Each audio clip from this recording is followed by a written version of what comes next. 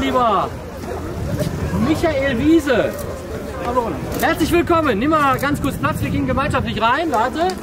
Und da ist er, unsere Liv Grete. Ihr dürft schon mal applaudieren. Ne?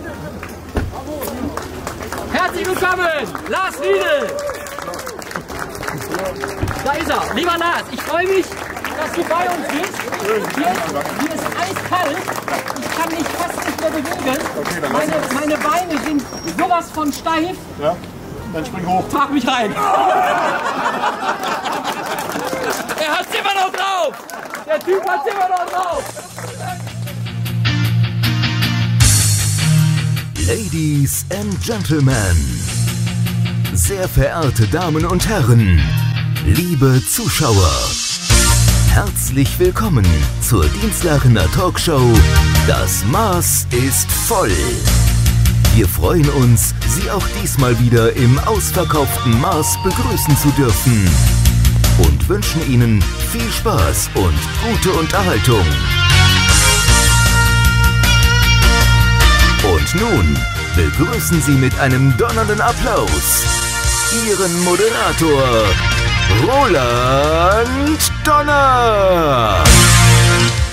Und, ah, lieber Hallöchen.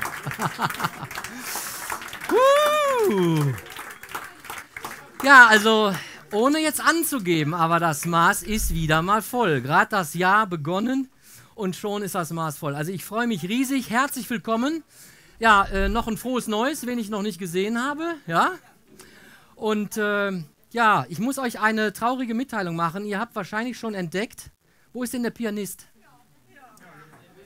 Ja, Pianist ist, was soll ich dazu sagen? Pianist ist Richtig, Spar Sparmaßnahmen. Nee, da muss ich jetzt, oh, da guckt der Bürgermeister ganz kritisch, die Stadt Dienstlaken, ne? Mit der Niesbar, der große Sponsor. Nee, daran, daran liegt es nicht. Also das Wahnsinnsgehalt kann er natürlich heute Abend nicht abschöpfen, ne? Geht natürlich nicht, aber ja, äh, ihr seid jetzt gefordert, weil äh, ihr müsst alle Lieder, die ich mit Melvin, vier Stück, zum Beispiel Eye of the Tiger oder das schöne holländische Lied von letztem Mal, das hat man alles so schön äh, angedacht, aber das geht halt nicht. Aber Nee, Laura. Ja, aber jetzt, jetzt ernsthaft. Äh, war das letzte Jahr so schlimm, dass du mir schon gleich zwei servierst, oder was? Wer steht denn sonst immer da? Der liebe Melvin. Ja, genau. Okay, also ist das auf Melvin. Okay, also, gut, dann, also dann, bevor es losgeht, ein, einen trinke ich auf Melvin. Also für die, wer kennt dieses Getränk nicht mit Namen? Einmal hoch, ist nicht schlimm. Okay, aber ganz wenig. Gut. Das ist ein Stolperknabe. Also mit, bei einem habe ich auf jeden Fall Erfahrung. Ich kriege den Talk ohne Lallen, kann ich versprechen. Bei zwei weiß ich nicht. Also darum, da müssen wir noch mal dealen. Ich weiß nicht. Also ich trinke.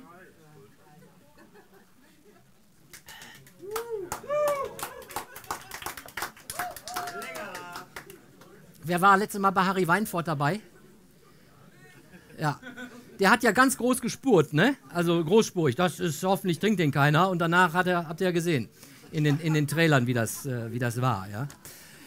Ja, also äh, das ist jetzt äh, wirklich kein Spaß. Also wir werden jetzt heute improvisieren, aber nur in der Musik. Und äh, ihr müsst jetzt einfach dadurch das bekannte Eröffnungslied und die Strophen, da müsst ihr einfach durch. Da wird der Roland jetzt knallhart a cappella singen. Aber wir haben ja auch äh, das kommt dann später, aber es gibt ein neues Mitglied vom Fanclub, das Maß ist voll. Da kommen wir dann aber äh, in der Hälfte äh, des Abends dazu. Ja, und äh, ihr wisst ja den Refrain. Alles läuft so, wie es soll, das Maß ist voll. Ich glaube, das kriegen wir doch alle hin, oder? Ja? Sollen wir mal einmal alle den Refrain? Alles läuft so, wie es soll. Das Maß ist voll. Gut. Ähm, ich habe jetzt drei Strophen und da können wir einmal die Qualität verbessern und die Dezibel, würde ich vorschlagen, ja? So, okay, jetzt äh, gibt es natürlich kein Vorspiel von Melvin, meine ich jetzt damit, sondern ich werde einfach mal den Abend eröffnen a cappella, live in diesem Jahr. Es sollte heute eigentlich der Melvin wieder rocken, doch merkt ihr jetzt bestimmt, aus dem ist nix zu locken. Der arme Kerl ist krank, drum ist er heut nicht da. Der Mann hat Männer schnuppen, der hat den Halskatar. Alles läuft so, wie es soll. Das Maß ist voll. Der Applaus geht an euch. Also da, da habt ihr mir schon, da habt ihr mir schon eine große Sorge äh, aus der, von der Seele genommen. Aber willkommen, liebe Leute, hier bei Willem Maas. Und trotzdem bin ich sicher, wir kriegen heute Spaß. Die erste Show in diesem Jahr ist wieder da. Viel bekannte Freunde, riesengroße Schar. Und? Alles läuft so, wie es soll. Das Maß ist voll.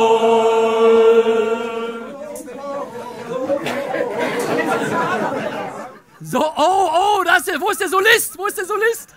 So voll. Oh, da war er. Auch nicht schlecht. So, und jetzt kommt die dritte und letzte Strophe, zumindest fürs Intro. Achtung. Drum frag ich in die Runde, hier bei Willem Maas, möchte einer singen, das wär doch echte krass. Und wenn sich keiner findet, ist das auch nicht schlimm. Beim nächsten Mal ist Melvin gewiss hier wieder drin. Alles läuft so, wie es soll. Das Maß ist voll. Jawohl! So voll. Also, ich merke schon, äh, ohne euch geht wirklich nichts, weil, jetzt mal ehrlich, wenn das jetzt, mittlerweile sind wir jetzt im sechsten Jahr, ne, Herr Bürgermeister, wenn ihr nicht da wärt, dann hätten wir schon gesagt, machen wir nicht. Also, es geht aber weiter. So, und jetzt natürlich ähm, wichtig ist ähm, Brandschutz und so weiter, wenn es hier mal brennt. Der Eingang, wo ihr reingekommen seid, da geht ihr wieder raus. Und wenn es ganz doll an der Bühne brennt, dann müsst ihr durch die Fenster. Ne? Also das muss ja bei jedem Meeting muss das ja gesagt werden mittlerweile. Und ganz wichtig, Datenschutzgrundverordnung. Ja? Also ihr habt ja gesehen, auf den Tischen sind überall die Informationen. Wer natürlich heute Abend mit seiner Frau oder seinem Mann da ist, der hat ja nichts zu befürchten. Wenn aber die Frau und die Freundin im Raum sind, könnte das Schwierigkeiten geben. Also entweder immer Bierglas vor der Nase halten, also ne, und wer jetzt eben halt, denn es wird ja auch veröffentlicht. Ja, es wird veröffentlicht und da wollen wir auch keinen Ärger, bloß keinen Ärger mit der Freundin oder der Frau. Ne? Ich weiß nicht, der eine oder andere, ich habe es glaube ich schon mal erzählt, da fällt mir jetzt eben halt gerade so ein, äh, das mit der Treue. Ne? Also meine Frau nimmt das mit der Treue sehr ernst, meine Freundin nicht. Ja, ja so unterschiedlich können Geschwister sein. Ne? Gut. Zitat habe ich nur von jemandem nacherzählt, ist nicht bei mir zu Hause passiert. Ne? ähm, ja, was hier alles abgeht im Moment ist ja also auch politisch. Ne? Ich, ich finde das äh, total extrem. Also wenn das so weiter, ich weiß nicht, was dieses Jahr passiert. Äh, wird der Trump den Nordkoreaner adoptieren und der andere den anderen auch? Ich, ich habe kein, hab keine Ahnung, was passiert mit dem Brexit? Ne? Wird der Radsport vom Doping befreit? Also,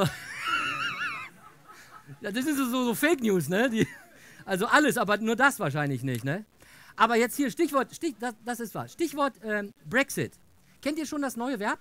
To Brexit? Weiß jemand, was to Brexit heißt? To Brexit heißt sich verabschieden, aber dann doch bleiben. Habt ihr auch so Freunde, ne? ne? Ja, Rudi, wir gehen jetzt, ne? Ist schon 23 Uhr, wir gehen jetzt, ne? Morgens um zwei sind die immer noch da, ne?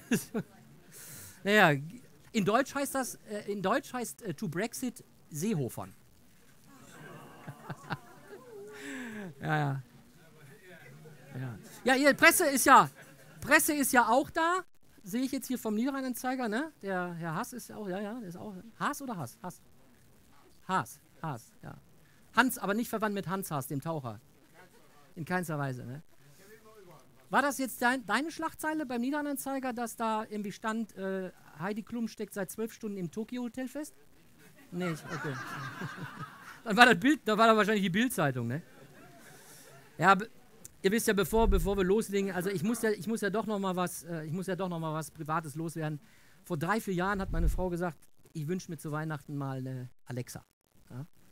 Und dann habe ich gesagt, nee, sowas kommt mir nicht in Haus, NSA und ne, also reicht ja schon, wenn auf Handy und man weiß ja gar nicht, ob man gefilmt wird und der Fernseher und dann, nee, mache ich nicht. Und hat sie wieder die Frage gestellt, möchte wieder, ne, Alexa, Alexa, jetzt, ich jetzt drei Jahre, ich habe mich jetzt bekneten lassen und habe gesagt, komm, jetzt kriegt äh, die Frau die Alexa. Und ich muss ganz ehrlich sagen, so seit, ne, seit Weihnachten habe ich mich damit auch ein bisschen beschäftigt und habe mich so ein bisschen angefreundet, bin so ein bisschen so näher gekommen und am Montag, also vorgestern, habe ich Alexa das erste Mal gefragt, Alexa, man muss ja immer sagen Alexa, ne? Oder du sagst irgendwie Computer oder, oder du sagst einen anderen Namen, ne? Wobei ich wollte mal umprobieren auf Hallo schöner Mann. Also, aber, ja gut. Alexa, was, war, was wollen Frauen wirklich? Am Montag. Ich bin heute um 17 Uhr hier hingefahren, die hat immer noch gelabert. Ja. ist, ist ganz schwierig. Ist ganz schwierig, ist ganz schwierig. Gut, okay. Also, ähm, ich würde sagen, wir fangen an. Ich freue mich. Ich habe mit Lars Riedel heute schon richtig krachen lassen. Also richtig, wir haben richtig vorgeglüht. Ne? Also Lars steht ja hinten und Lars richtig, wir haben richtig vorgeglüht, ja? Lars mit dem heißen Kaffee und ich mit dem Latte Macchiato.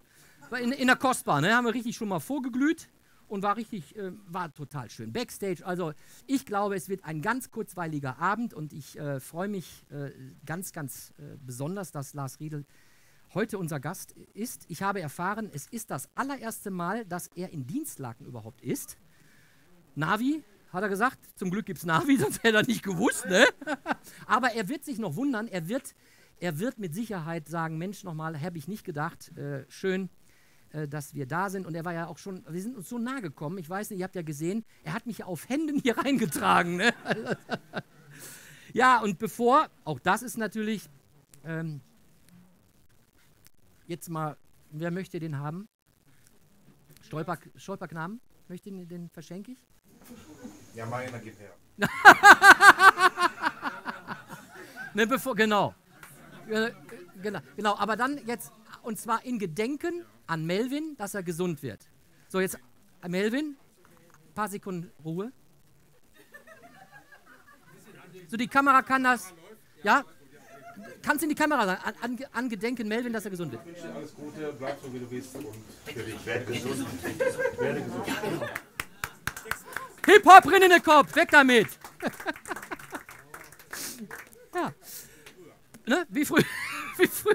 Also mir stellst du das wieder hin, dann sieht das aus der Kamera so aus, als ob ich das gesoffen hätte. Okay, also, ab in die Reihe, genau. So, ähm, ich weiß, dass äh, Olympioniken und auch Sportler generell, ganz besonders die natürlich auch Medaillen äh, nicht erworben, erkämpft haben, ja, erstritten haben, ähm, möchte ich trotzdem nochmal äh, in Erinnerung rufen, denn der ein oder andere kennt Lars Riedel, ja, aber ja, der weiß auch vielleicht auch mal was mit dem mit der Disziplin Diskuswerfen anzufangen, aber äh, was waren das für Erfolge? Und ähm, das waren schon wahnsinnige Sachen. Olympiasieger Atlanta 1996, die Meterzahl, da kommen wir nachher nochmal dazu, und mit welcher Schwierigkeit die ersten beiden Würfe waren, wo man denkt, oh, warum bist du eigentlich hier angetreten? Also Olympiasieger Atlanta 96, fünffacher Weltmeister, Europameister, WM-Dritter 1999, Olympia-Zweiter von Sydney 2000, also die ging weiter, vier Jahre später, 96 zu 2000. Elffacher deutscher Meister, Sieger bei den Golden Four. Und das war bis dato der einzige Deutsche, der die Golden Four ähm, ja, gewonnen hat. Europacup-Sieger 93, 95, 97, 2000, 2001 und dann IAAF Grand Prix-Finale, was das ist. Das fragen wir ihn nachher. In 93, in 95, in 97, in 9, also eine Riesenlatte, eine Riesenlatte an, an erfolgreichen Aktivitäten. Einer der erfolgreichsten deutschen Leichtathleten, im Juni 67 geboren in Zwickau. Das hört man noch teilweise manchmal ein bisschen raus, aber das, äh, das werden wir schon verstehen. Und äh, ja, er wird uns heute Abend erzählen über das Leistungskader in der DDR, der Wiedereinstieg 1990 mit einem tollen Gönner und einem Bundestrainer, der Herr Steinmetz. Und äh, erzählt uns aber heute Abend auch die Kehrseite der goldenen Medaille. Denn es war nicht immer alles schön, es gab auch Höhen und Tiefen. Aber was ich beim Recherchieren, aber auch jetzt schon im Telefonat von den Tagen vorher was ich kennen oder auch gespürt habe, er ist eine riesengroße Natur, also von körperlicher Größe, zwei Meter groß, aber dieser Mann ist bis zum heutigen Tag echt auf dem Boden geblieben und das ist jetzt nicht rumgeschleimt, sondern es ist wirklich so. Und ich freue mich, auch ihn wieder in A Cappella Art herzlich willkommen zu heißen. Und äh, ja, nach dem Song, äh, wenn er dann rüberkommt, lieber Lars, darfst du dich natürlich hier auf der Bühne blicken lassen. So, also Roland Donner live äh, mit Melvin in Gedenken und wir denken uns jetzt mal das Vorspiel, ja? Also, gleich kommt ein toller Hühne, der hat es vielleicht drauf. Da gehen bei den Frauen die Augen ganz groß auf. Ein Olympionike mit Gold am Körper dran. Willkommen sei Lars Riedel, der zwei Meter Mann. Und alles läuft so wie es soll. Das Maß ist voll. Schön gesungen, schön gesungen, Alter. So, ja, genau, mach das wieder. Lars, ich freue mich. Ich freue mich auch. Also, äh, dass ich nochmal in den Genuss komme, leicht. Also, ist doch herrlich, oder? Also, wir machen uns das jetzt einfach. Wir steigen wieder ab. Also, nicht wir, sondern äh, ich. Und wir. Ja, das. Ja, ihr lacht, aber äh, das, hat, das hat irgendwie, glaube ich, sogar der, der Gerhard Schröder, der, unser ehemaliger Bundeskanzler, der hat das irgendwie auch mal machen müssen, weil irgendein Interviewpartner, der war so klein, oder umgekehrt, da musste ein anderer, dass, dass die auf Augenhöhe halt kommen. Weil ich bin darauf angehalten worden, äh, hier vom Kameramann natürlich, dass wir uns auf, den, auf die Hocker sitzen und guck mal, das geht doch einigermaßen, geht das gut, ja? So, Ich, ich setze mich gerade hin, also. Also ich muss sowieso sitzen, also. nein, äh, ist schon richtig, immer, immer, immer Rücken raus, das ist schon richtig, immer, immer Rücken raus. Äh, funktio funktioniert das? Jein. Nein, fun Ja, doch, funktioniert. Also, äh, ich habe gehört, du trinkst immer gerne lokales Bier. Ja. Und dann, äh, so Pilz oder es gibt auch alt. Da sagt, nee, dann trinke ich alt. Ja, ja, wenn es nicht zu alt ist, Prost. nee, das ja. Also, äh, ich trinke jetzt äh, zum Wohle, ja. Wohle. Prost. Gut. Also, ähm, ich habe dein Buch gelesen und da kommen wir nachher nochmal da drauf. Doch, das können wir jetzt schon mal zeigen. Also jetzt hier in die, in die Kamera. Äh, die da hinten es nicht sehen können. Warte mal, jetzt da in der Ecke. Man sieht natürlich, äh, man sieht da nicht Lars Also, Riedel. also ich muss dazu sagen, halt, ich habe damals 20 Bilder abgegeben und habe denen überlassen, das waren aber fast alles Frauen halt, die sollen das vorne drauf machen, was sie am meisten mögen. Ich habe da aber nichts damit zu tun halt so. Also ich habe das ja bewusst äh, wahrgenommen und äh, so ein bisschen auch durch meine kabarettistische Ader habe ich gedacht, naja, der Lars Riedel, das ist ja jetzt auch schon zehn Jahre alt, das Buch, glaube ich, in acht hast du das geschrieben oder rausgehauen. Du mit Gold auf der Haut, Frank Ribery, also Gold auf Fleisch. Ich war eher, ich war eher. Du warst eher, ne? Genau. Und außerdem halt, also jeder, der irgendwo äh, DDR-Zeiten oder mal in der DDR drüben war, es gab ja auch den Goldbräuler, den hat man noch viel eher. Ach so. Ja, ja, Ach, klar. der Bräuler ist ja mal für Goldbräuler. die... Ja, das ist Ja, ja. Hähnchen, ne? Ja, Bräuler, aber ganz normal. Da hat sich keiner drüber Nee, aufgeregt. sich- also ich habe dein Buch, ähm, ich habe dein Buch versucht quer zu lesen. Also es geht ja, es gibt so eine Technik von links oben nach rechts unten, kann man das so ganz schnell durchlesen und so bap, bap, bap, bap, bap. Und ähm, ich habe gemerkt, ich muss mir da einfach viel mehr Zeit für nehmen. Das wäre viel zu schade und ich werde mir gewiss in einer ruhigen äh, Stunde oder in einer Woche mir die nochmal, dein Buch nochmal, 270 Seiten ungefähr, werde ich mir nochmal zu Gemüte führen. Übrigens, hast du jetzt, was ich dir sagte, Bücher mitgebracht? So zum Signieren und so? Ich habe nee, hab jetzt leider nicht, achso, ja. Ich hab jetzt leider nichts dabei halt, äh, von den Büchern. Eieieiei. Aber diese Ja, Bücher, äh, die ja. kann ich dann trotzdem mal, du kannst ja dann, äh, die gibt's, ich weiß nicht, ob es die noch gibt halt. Es ist, Also ich einfach mich halt. ansprechen, Genau, weil ja, jetzt, ja, äh, genau. natürlich, wir sind Ich mache paar Unterschriften und du klebst die dann rein oder sowas halt dann. ja, oder du schreibst Wir den, den, den. Frauen das hier, äh, hier aufs Dekolleté, Habe die ich auch schon Jahre gehabt bei nicht. meinem Trainer zu Hause, aber Ja, okay. äh, da war die, die Frau meines Trainers sauer. Ich, ich, ich frage ganz, ganz besonders jetzt, die erste Frage hat einen Grund, weil du hast auch ähm, dein Buch mit einem Thema begonnen. Äh, das wird überschrieben, wie einsam warst du, oder ja, wie einsam warst du in Atlanta. So war dann die Überschrift. Und äh, ich habe mir natürlich gedacht, die Bildzeitung hätte das Thema jetzt so genannt, ein Toilettengang während des Wettkampfes öffnete ihm die Augen. Das glaube ich war ja auch in dieser Situation, äh, wie einsam warst du in Atlanta. Wenn du das Kapitel einfach mal beschreibst, äh, was ist da geschehen mit zweimal ungültig, mit Sorgen, äh, tausende von Leuten schauen dir zu und wie hast du den, diesen Punkt gekriegt, einfach zu sagen, so und jetzt zeige ich es euch. Also ich mache das äh, manchmal so gerne, äh, wenn ich so Vorträge äh, halte, dass ich dann so sage, macht mal alle bitte die Augen zu. Das mache ich jetzt heute Abend nicht, aber es ist wirklich so, wenn man die Augen zumacht und sich mal vorstellt, Atlanta, da sind so 86, 87.000 Zuschauer im Stadion. Äh, du bist da wirklich, ähm, ja, es ist äh, feuchtwarm da, es ist äh, extrem laut auch in dem Stadion. Du bist dort ganz allein, du hast dort auch niemanden, den du fragen kannst. Der Trainer sitzt auf der Tribüne, den darfst du ja nicht mal ansprechen oder irgendwas halt. Äh, wird vorher auch geguckt in den Katakomben, ob du irgendwelche Sachen dabei hast, wo du den anrufen könntest, etc. Ähm, also es dreht sich alles nur um dich dort unten und ähm, ja, kannst sagen, fast eine Milliarde am Bildschirm. Der Druck ist schon enorm, vor allem wenn du 2012, äh, zwei, äh, was war es, äh, äh, 92 damals als absoluter Favorit in Barcelona rangegangen In Barcelona, bist. ja. In dem Jahr keinen Wettkampf verloren, dort in der Quali äh, ausgeschieden als 13. 12 sind weitergekommen. Dann ist natürlich halt ähm, dieser Druck noch größer und die Medien machen das ja ganz geschickt. Ich habe immer in den ungeraden Jahren gewonnen.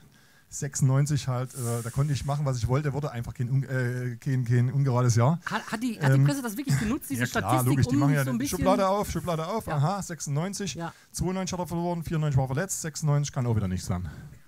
So, und dann habe ich so, und das ist natürlich halt was, entweder du gehst da dran zugrunde oder du sagst halt Ja. so, ja, der kann erzählen, was er will. Ja. Jetzt stehst du auch da unten drin, wirfst den ersten, ich hatte ein sehr gutes Trainingslager gemacht in den USA äh, vorher, so Akklimatisierung, Ja. da muss man auch so ein bisschen Zeitumstellung machen, alles.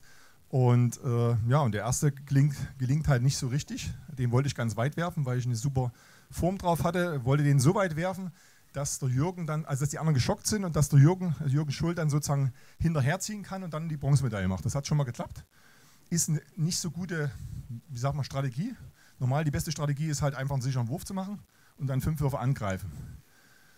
Äh, ja, ich bin halt so ein bisschen im Training so gut gewesen, dass ich dachte, pff, kriegst du doch so hin. Ja. Das sollte man nicht machen. Aber gut, okay. Jetzt war das so, jetzt kommen dann äh, ungefähr 25 Minuten, die sind ungefähr so gefühlt so lang wie ein halber Tag. Das glaube ich. Äh, ja. Und alle Gedanken negativ kommen in deinen Kopf rein, zum Beispiel die Gedanken der Journalisten, auch andere Gedanken, deine eigenen und so weiter. Und jetzt musst du das alles wegdrücken. Das Du bist jetzt in Atlanta, ne? ich bin jetzt Ja, gerade in ja, ja, Atlanta, ich ja, bin ja, gerade im ja, Stadion ja, halt so, ja. Entschuldigung, dass ich Ja. jetzt nicht hier bin, aber äh, Nee, nee. und, und ähm, Nein, ich, war- ich frage deshalb wegen das ist Barcelona. nur, ja, das ist nur mein Körper jetzt halt. Ja, der, Ich hatte gerade noch Barcelona im Kopf. Ja, ja, ja, ich bin jetzt, ja, ja, genau. Aber da war es genauso warm. Und, ähm, und das Ding ist wirklich, dass du dann, ähm, ja, dass du, dass du einfach, das kostet unwahrscheinlich viel Kraft. Also das, das, das zieht, zieht da die Energie raus. Jetzt habe ich den zweiten Wurf gemacht, habe eigentlich alles soweit für mich richtig gemacht. Jetzt war aber die feuchte Luft so feucht und keiner hat da Gewicht, dass da doch so ein bisschen, ich bin hier ganz leicht weggerutscht. Und wegrutschen ist das Schlimmste, was Ja. passieren kann. Unsicher, der Wurf ging jedenfalls auch nur 55 Meter oder so. Jetzt hast du noch genau einen Wurf Ja. und 25 Minuten bis zu diesem Wurf. Und ich habe sonst immer versucht, mit dem Denken das Ganze zu steuern im Wettkampf. Und in dem Moment habe ich ein inneres Gefühl gehabt und das hieß raus. Es hat immer wieder so raus, raus, raus. Das schaffst du nicht, Ja. diese lange Zeit. Und da habe ich zum ersten Mal in einem Wettkampf, in einem großen Wettkampf, dem Bauchgefühl nachgegeben. Und die einzigste Möglichkeit, äh, um da rauszukommen und nicht disqualifiziert zu werden, halt, ist halt einen Kampfrichter zu fragen, ob du auf der Toilette gehen kannst halt. Ne? So, bin dahin halt, ja, mhm, mhm, mit meinen bisschen englischen Wörtern halt. Russisch hätte ich besser gekonnt halt, haben wir ja in der Schule gehabt. Aber, War aber kein russischer Kampfrichter da, also habe ich dann doch in Englisch aber die versucht. Pipi in den Augen hat er vielleicht schon gesehen, hat Er gesagt, hat der muss wirklich, halt, oder? Ich habe hab dann so nonverbal, halt, habe ich das hingekriegt. Ja, ja. Äh, ja, und die Knie immer enger dann so zusammen und so alles. Also der wusste dann, was ich wollte. So, dann sind wir in die Katakomben rein und also da unter, unterhalb des Stadion, wo die Leute sitzen, kannst du da unten reingehen, das sind die Toiletten. Das In- Interessante daran war wirklich, es wird immer weniger Lautstärke. Du verabschiedest dich, das hat mein, äh, mein Autor damals geschrieben, äh, du verabschiedest dich von dem unsicheren Lars, gehst da rein, also äh, habe zwar jetzt nicht so gemacht, Ja, aber ja, ja. reingegangen, äh, bin auf Toilette, ich weiß bis heute nicht, ob ich überhaupt war, bin dann an den Spiegel ran halt, ähm, hab mir dann In dem Buch steht das aber, ne? Dass du warst. war? Nee, Mit der, in der Toilette? nee, nee, nee, nee. Da kam doch, der hat dich doch beobachtet. Nee, nee, das war, das war bei der Dopingkontrolle. Das ist wieder was anderes. Ah, Wo der so okay. runterging mit dem Kopf Ja, halt. ja, ja, Die können wir gerne mal vorlesen an die Situation. Ja, okay. Die lese ich sehr gerne vor. Die Ja, ich schon ja, mal gerne, meinen- das, die hab ich äh, schon mal darum bist du vorgelesen. hier, ne? Ja, ja, Also- ja, ja, ja. ähm, also jedenfalls dort war es so, dass ich es nicht äh, wusste im Nachhinein. bin dann dorthin und habe mir hab in den Spiegel geguckt und du hast ja 50, 60 verschiedene Möglichkeiten, die du jetzt im Grunde genommen eigentlich verändern könntest. Und dann, so habe ich es halt zumindest gelernt, packst du die zwei, die dir gerade äh, einfallen. Das war für mich halt langer Arm und beim Werfen dann schnelle Fußgelenke. Ne, so, das sind so technische äh, Dinge, die man dann so reinnimmt. Das habe ich mir kurz vorgestellt, bin rausgegangen äh, und draußen war ja alles schön trocken, der Beton. Wie wir rein, reingelaufen sind, äh, gucke ich den so an und stelle mich hin auf einmal wie beim Diskuswerfen und mache dort eine Imitation, also eine Trockenübung. Ja. Da hat er mich ganz komisch angeguckt, Ja. weil der dachte, die Deutschen haben komische Angewohnheiten, nachdem die auf Toilette waren. War mir auch total egal. Die eine, eine Kultur wäscht sich die Hände, die anderen.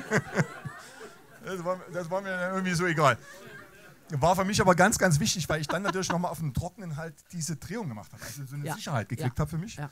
Und bin dann ins Stadion reingekommen. Und jetzt waren nicht mehr diese elf Leute vor mir, sondern es waren halt nur noch äh, vier vor mir. Das heißt, die Zeit, die wusste ich genau zu überbrücken. Da hast du so einen Ablauf, ziehst dann die Jacke aus.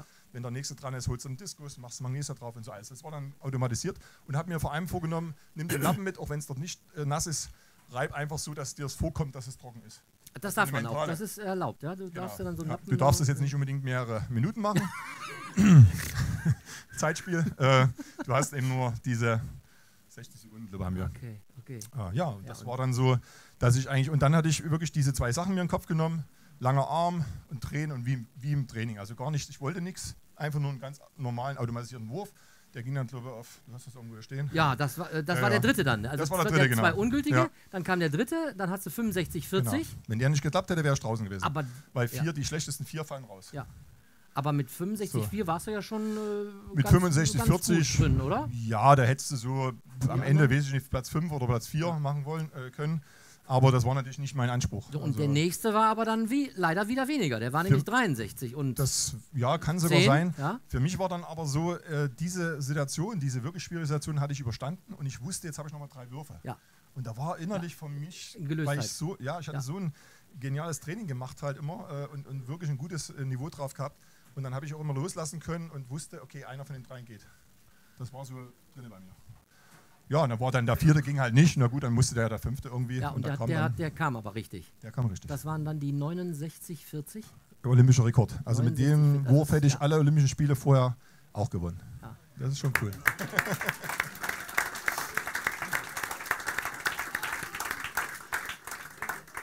Ist natürlich doch viel schöner, das vom Lars Riedel persönlich zu hören, als im Buch zu lesen.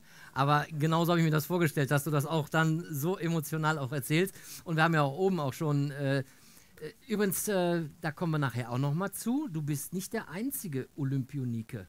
Ja? Da kommen wir nachher nochmal zu, denn der Papa von der Liv war Kanut oder ist immer noch Kanut und der war auch mit dir in Atlanta. Aber da nachher noch mehr dazu. Also auf deiner Seite, äh, um das nochmal zusammenzufassen, äh, du hast gesagt, löst dich, nimm Abstand, betrachte alles aus einem anderen Blickwinkel und falls es geht, lass die Emotionen außen vor. Und das hat dir geholfen. Auch wenn du gesagt hast, ich muss auf Toilette, ich muss einfach raus, egal wie. Und auch wenn derjenige, der ja mit dir gekommen ist, äh, der dich beobachtet, damit du ja nicht andere Sachen austauscht oder irgendwas einnimmst, der hat vielleicht doof geguckt, aber das hat dir geholfen. Genau, Also genau. hat Das war, dieses Prinzip also, funktioniert. Genau, danach hat dann irgendwann mal ein Psychologe, ein Sportpsychologe gesagt Ja. halt so, ich habe alles richtig gemacht. Äh, wusste ich zwar auch, aber Ja, egal. aber der hat dann zu mir gesagt halt so, ja. du, dieses mit dem sicheren Lars und du bist im Grunde dann einfach, ich habe das auch gemerkt, ich bin reingekommen und habe wirklich wie so 50 Kilo weniger auf dem Rücken gehabt. Also du warst einfach, ja, du hast nicht ja. die ganze Zeit daran denken müssen. Ja. Und ähm, ja, also bei mir war das der richtige Weg. Ja. Für jemand anderes ist es halt irgendwo eine andere, Ja. eine andere Sache. Aber man sollte dann schon mal auf das Bauchgefühl hören. Jetzt haben wir mit Atlanta natürlich hier heute Abend begonnen, aber äh, Atlanta 96, äh, da ist ja noch viel, viel vorher geschehen. Ne? Das heißt, äh, wo ich jetzt auch ein bisschen mit dir mich unterhalten möchte, ist dein Papa, das war ein Vorbild. Ja, das war also ein Kämpfer für dich, äh, der war äh, ein Tröster für dich. Du schriebst in deinem Buch oder schreibst in deinem Buch, dass er der Supermann war. Ja, also ich kann das nachvollziehen, weil ich glaube, jeder von uns hat, äh, entweder ist der Mama, ist Mama oder Papa, so eine totale tolle Bezugsperson, die einem auch dann durch das Leben führt, durch, durch junge Jahre, durch die jugendlichen Jahre. Ähm, ich habe in den Fotos habe ich auch gesehen, dein Papa war auch nicht klein. Ne? Wie groß war der? 1,96? Äh, 1,96. 1,96? genau. Ja. Auch Sportler oder äh, wie ging das los? Der wie, kam, wie hat das ja, also, bei dir? also er kam, er war so äh, querfeldein, vom Querfeldeinfahren ist er dann Boxer gewesen und ist dann, hat dann unwahrscheinlich viele umgehauen, also äh, Schwergewichtler. jetzt ganz doof Also gefragt, querfeld einfahren heißt mit dem Fahrrad, mit dem Fahrrad, also der hat sich erst richtig gequält, war so ein Ausdauer, Kraft-Ausdauer-Typ, Okay. äh, war dann Boxer und war dann Leichtathlet. Mir hat ein Trainer mal gesagt halt, ähm, der bei uns äh, am Sportclub war, der sagt, das, was du im Schnellkraft bist, war dein Vater in der Ausdauerkraft. Okay. Also er wäre der ideale Ruderer gewesen, war in Potsdam, hat er durch alle Werte weggehauen äh, und me meine Mutter hat aber nicht nach Potsdam gelassen. Ah. Sonst wäre ich in Potsdam groß geworden halt und äh, wäre vielleicht heute gar nicht hier und wäre Segler. Äh, Mit mehr Tiefgang. äh, du hast auch Geschwister? Du hast zwei Geschwister? Genau, ich habe Ja? zwei jüngere Geschwister. Ja. Ähm, und äh, deshalb hat mein Vater mich auch ganz schnell äh, in der ersten Klasse schon zum Sport geschickt, weil ich mit meinen zwei jüngeren Geschwistern, gerade mit meinem jüngeren Bruder, halt dann, das war halt wie so ein größeres Spielzeug und äh, ja, habe dann viele Sachen gemacht, die, er, die mein Vater nicht so toll fand. So, Also äh, am, am, am, langen Arm verhungern lassen, war das auch so, ein Spiel oder äh, so? Nee, Ausdauer war ich nicht so gut. Äh, du hast auch angefangen mit Speerwurf. Ja, wir haben ja, wir haben da Leichtathletik natürlich Leichtathletik, erstmal also so, alle ja. technischen Disziplinen gelernt. Ich habe mal äh, nach dem Urlaub irgendwann beim Jürgen Schuld mal 1992 äh, einen Jedermann-Zehnkampf mitgemacht und habe mal knapp 7000 Punkte gemacht. Also äh, ja, das haben wir alles ganz gut In hingekriegt. welchem Alter hatte Papa und du gemerkt oder die Eltern generell, oh ja, da, den können wir fördern? Drei, fünf, sechs? Oder Ja, die, die Energie, so es war, nee, es war halt diese Energie da. Ich sehe es Ja. jetzt bei meiner Tochter, die ist fünf, die hat genau diese gleiche Ja. Energie. Äh, die muss irgendwo raus. Und das Beste ist natürlich, wenn du die jetzt in dem Alter schon in Bahnen lenkst, Techniken lernst und in Spaß vermittelst. Und äh, das hat mein Vater gemacht. Bin dann immer dort schon zwei, dreimal die Woche zum Leichtathletiktraining gegangen. Habe in der ersten Klasse sogar schon Zweitklässler geschlagen im- Ballwerfen. Das war so meine Spezialdisziplin.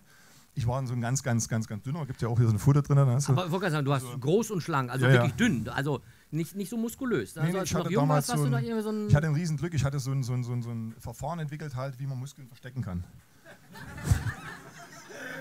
Ich, ich kenne das. Mache ich, mach ich seit 50 Jahren. Ja, ja, ja. Ich habe auch ein Patent darauf. Ja, okay. Nein, aber. Ja, und äh, dann kam die zweite Klasse, das war ganz interessant und dann habe ich natürlich, da bin ich dann explodiert halt, weil die Technik natürlich immer besser wurde. Ja. Und das war für mich das Wichtige, diese Technik, ich habe halt gemerkt, da kannst du mit der Technik Ja. auch größere und kräftigere besiegen ähm, und gewinnen und das war schon, also ich habe den Kreisrekord 48,5 in der zweiten Klasse, der steht jetzt noch. Der ist nicht schlecht, also versuchen wir mal bei 48,5 zu werden. Also ich, ich, ich glaube, ich habe da eh zwei linke Füße, aber. äh, wa- was, was würdest du jetzt so, fällt mir gerade ein, was würdest du jetzt so sagen? Du hast das schon gemerkt, du hast die Power gehabt, die, die, die physische Kraft, aber durch die Technik, äh, auf einmal gingst du ganz steil, hast du gerade gesagt. Was meinst du, was, wie viel Prozent waren das denn jetzt so, wären das dazu gewesen? Was schätzt du? Äh, 25? Also in dem 20%? Alter war es die Schnelligkeit und die Technik. Da hatte ich überhaupt noch keine Kraft. Also da war nichts da. So. Und deshalb habe ich dann auch äh, oft dann äh, später dann so, wo dann andere schon weiterentwickelt waren. Ich war so ein Spätentwickler, die hatten dann schon Schnurri und was weiß ich nicht also. Und die waren dann auch, die sind dann weg. Die sind einfach, äh, deshalb habe ich auch keinen Speerwerfen mehr gemacht, sondern bin dann, also der eine, mit dem ich mich immer gemessen habe, der ist im Sportclub, Anfang der siebten Klasse. Und ich hatte damals keine Lust, meine Mutter hat mich irgendwie gelassen, mein Vater hat so einen Hals gehabt. Äh, der wollte das unbedingt, aber ich habe gesagt, Ah, nee. und das war, meine. Mutter hatte Bauchgefühl Okay. sehr gutes Bauchgefühl, weil die hat gespürt, äh, das ist nicht gut für den. So, und das wäre auch nicht gut gewesen, weil die mich kaputt gemacht hätten. In diesem ganzen Fördersystem ging es um Spartakiaden, da ging es schon um Medaillen und das in dem Alter so. Okay. Ich war ein, wirklich ein Hemd. Ja, 1,91 Meter. ja. 91. Ich bin Ja. zum Sportclub gekommen, Anfang der 10. Klasse mit 1,91 Meter und habe 72 Kilo gewogen. Also ich musste jedes Gramm im Grunde wieder antrainieren und anessen. Also das war Ja. nicht so schön, äh, obwohl es hat geschmeckt. Dann, äh, das heißt also, als die Eltern merkten, da ist, also den, das, das müssen wir fördern, das, äh, dann ging es dann ins Sportinternat. Genau, Äh, das war das dann war äh? Anfang der 7. Klasse wäre es normal das gewesen. war noch zu, zu DDR-Zeiten. Genau, oder? Anfang der siebten Klasse wäre es nochmal, da hat meine Mutter gesagt, nee, und dann wäre ich beinahe Handballer, also ich war ja immer Handball noch mit nebenbei Oh, gespielt, Hand- wäre beinahe Handballer geworden. Okay, Ach so, Stichwort. Wir hatten sind, sind Han- also die richtigen Handballer sind heute eh nicht da, das ist schon Nee, klar. sind- ja, auf das der anderen Seite an. müssen wir auch sagen, punktemäßig sind wir safe. Ja? Ja, ja, wir sind Äh. Aber wer ist denn trotzdem, wer, wer, wer würde gerne so, na, so zweite Halbzeit gucken? Ja, Zwischenergebnis. Ja, Zwischenergebnisse? Ja, ja Zwischenergebnisse, jede Minute, äh, 19, 18, 20, geht ja nicht. Also, äh, ich glaube, nicht ich glaube, sondern ich habe Axel Wolf gefragt. Äh, ich denke, dass wir um kurz vor halb auch hier ne, die, das schöne Interview ne? 90 Minuten, wir haben beim letzten Mal zwei Stunden. Ne? Harry Weinfurt hat ja noch die 45 gefühlten Karten noch beantwortet von mir. Ne? Presse hat ja auch gleich geschrieben, gleich überzogen, ne? Jubiläumsausgabe 20 Mal, zack, überzogen. Also wir machen heute pünktlich Schluss, aber wir haben auch die Möglichkeit, alle hier bleiben und dann können wir nochmal schön die zweite Halbzeit gucken ne? vom Handball. So, das So. war jetzt der Block für Information. Ja. Handball. Da Also dann jedenfalls, weiter. genau, dann so ein bisschen äh, nicht so richtig gewusst, also ein bisschen Handball gespielt, ein bisschen äh, Leichtathletik weitergemacht. Und, äh, und dann Anfang der 10. Klasse, äh, dann war schon Diskus, also du hast dann später erst mit Diskus angefangen. Und ähm, dann kam nochmal der äh, Jürgen, Jürgen, äh, Jochen Sachse, der war Zweiter bei Olympischen Spielen 72 im Hammerwerfen als Trainer auf mich zu, hat mich gefragt und dann hat meine Mutter gesagt, jetzt bist du alt genug, jetzt kannst du. So, wissen wir, sind wir zu ihr zur Kur gefahren und so. Mein Vater natürlich schon so ein bisschen clever mit mir vorher gesprochen, wie machen wir es am besten und wie reden wir mit ihr und was sagen wir und so. Ah, Also, okay. taktisch Also clever. Takt, ja, Taktik. Ist ja So, auch ein Thema für den Sport. wichtig. Taktik, ne? Ja. Also auch Taktik, wie geht man mit den Gegnern um? Ja, auch, nicht, ein zu, nicht zu verwechseln mit TikTok. nee, Genau. äh, auch ein schönes Thema, muss ich sagen. Also auch sehr, sehr vorbildlich.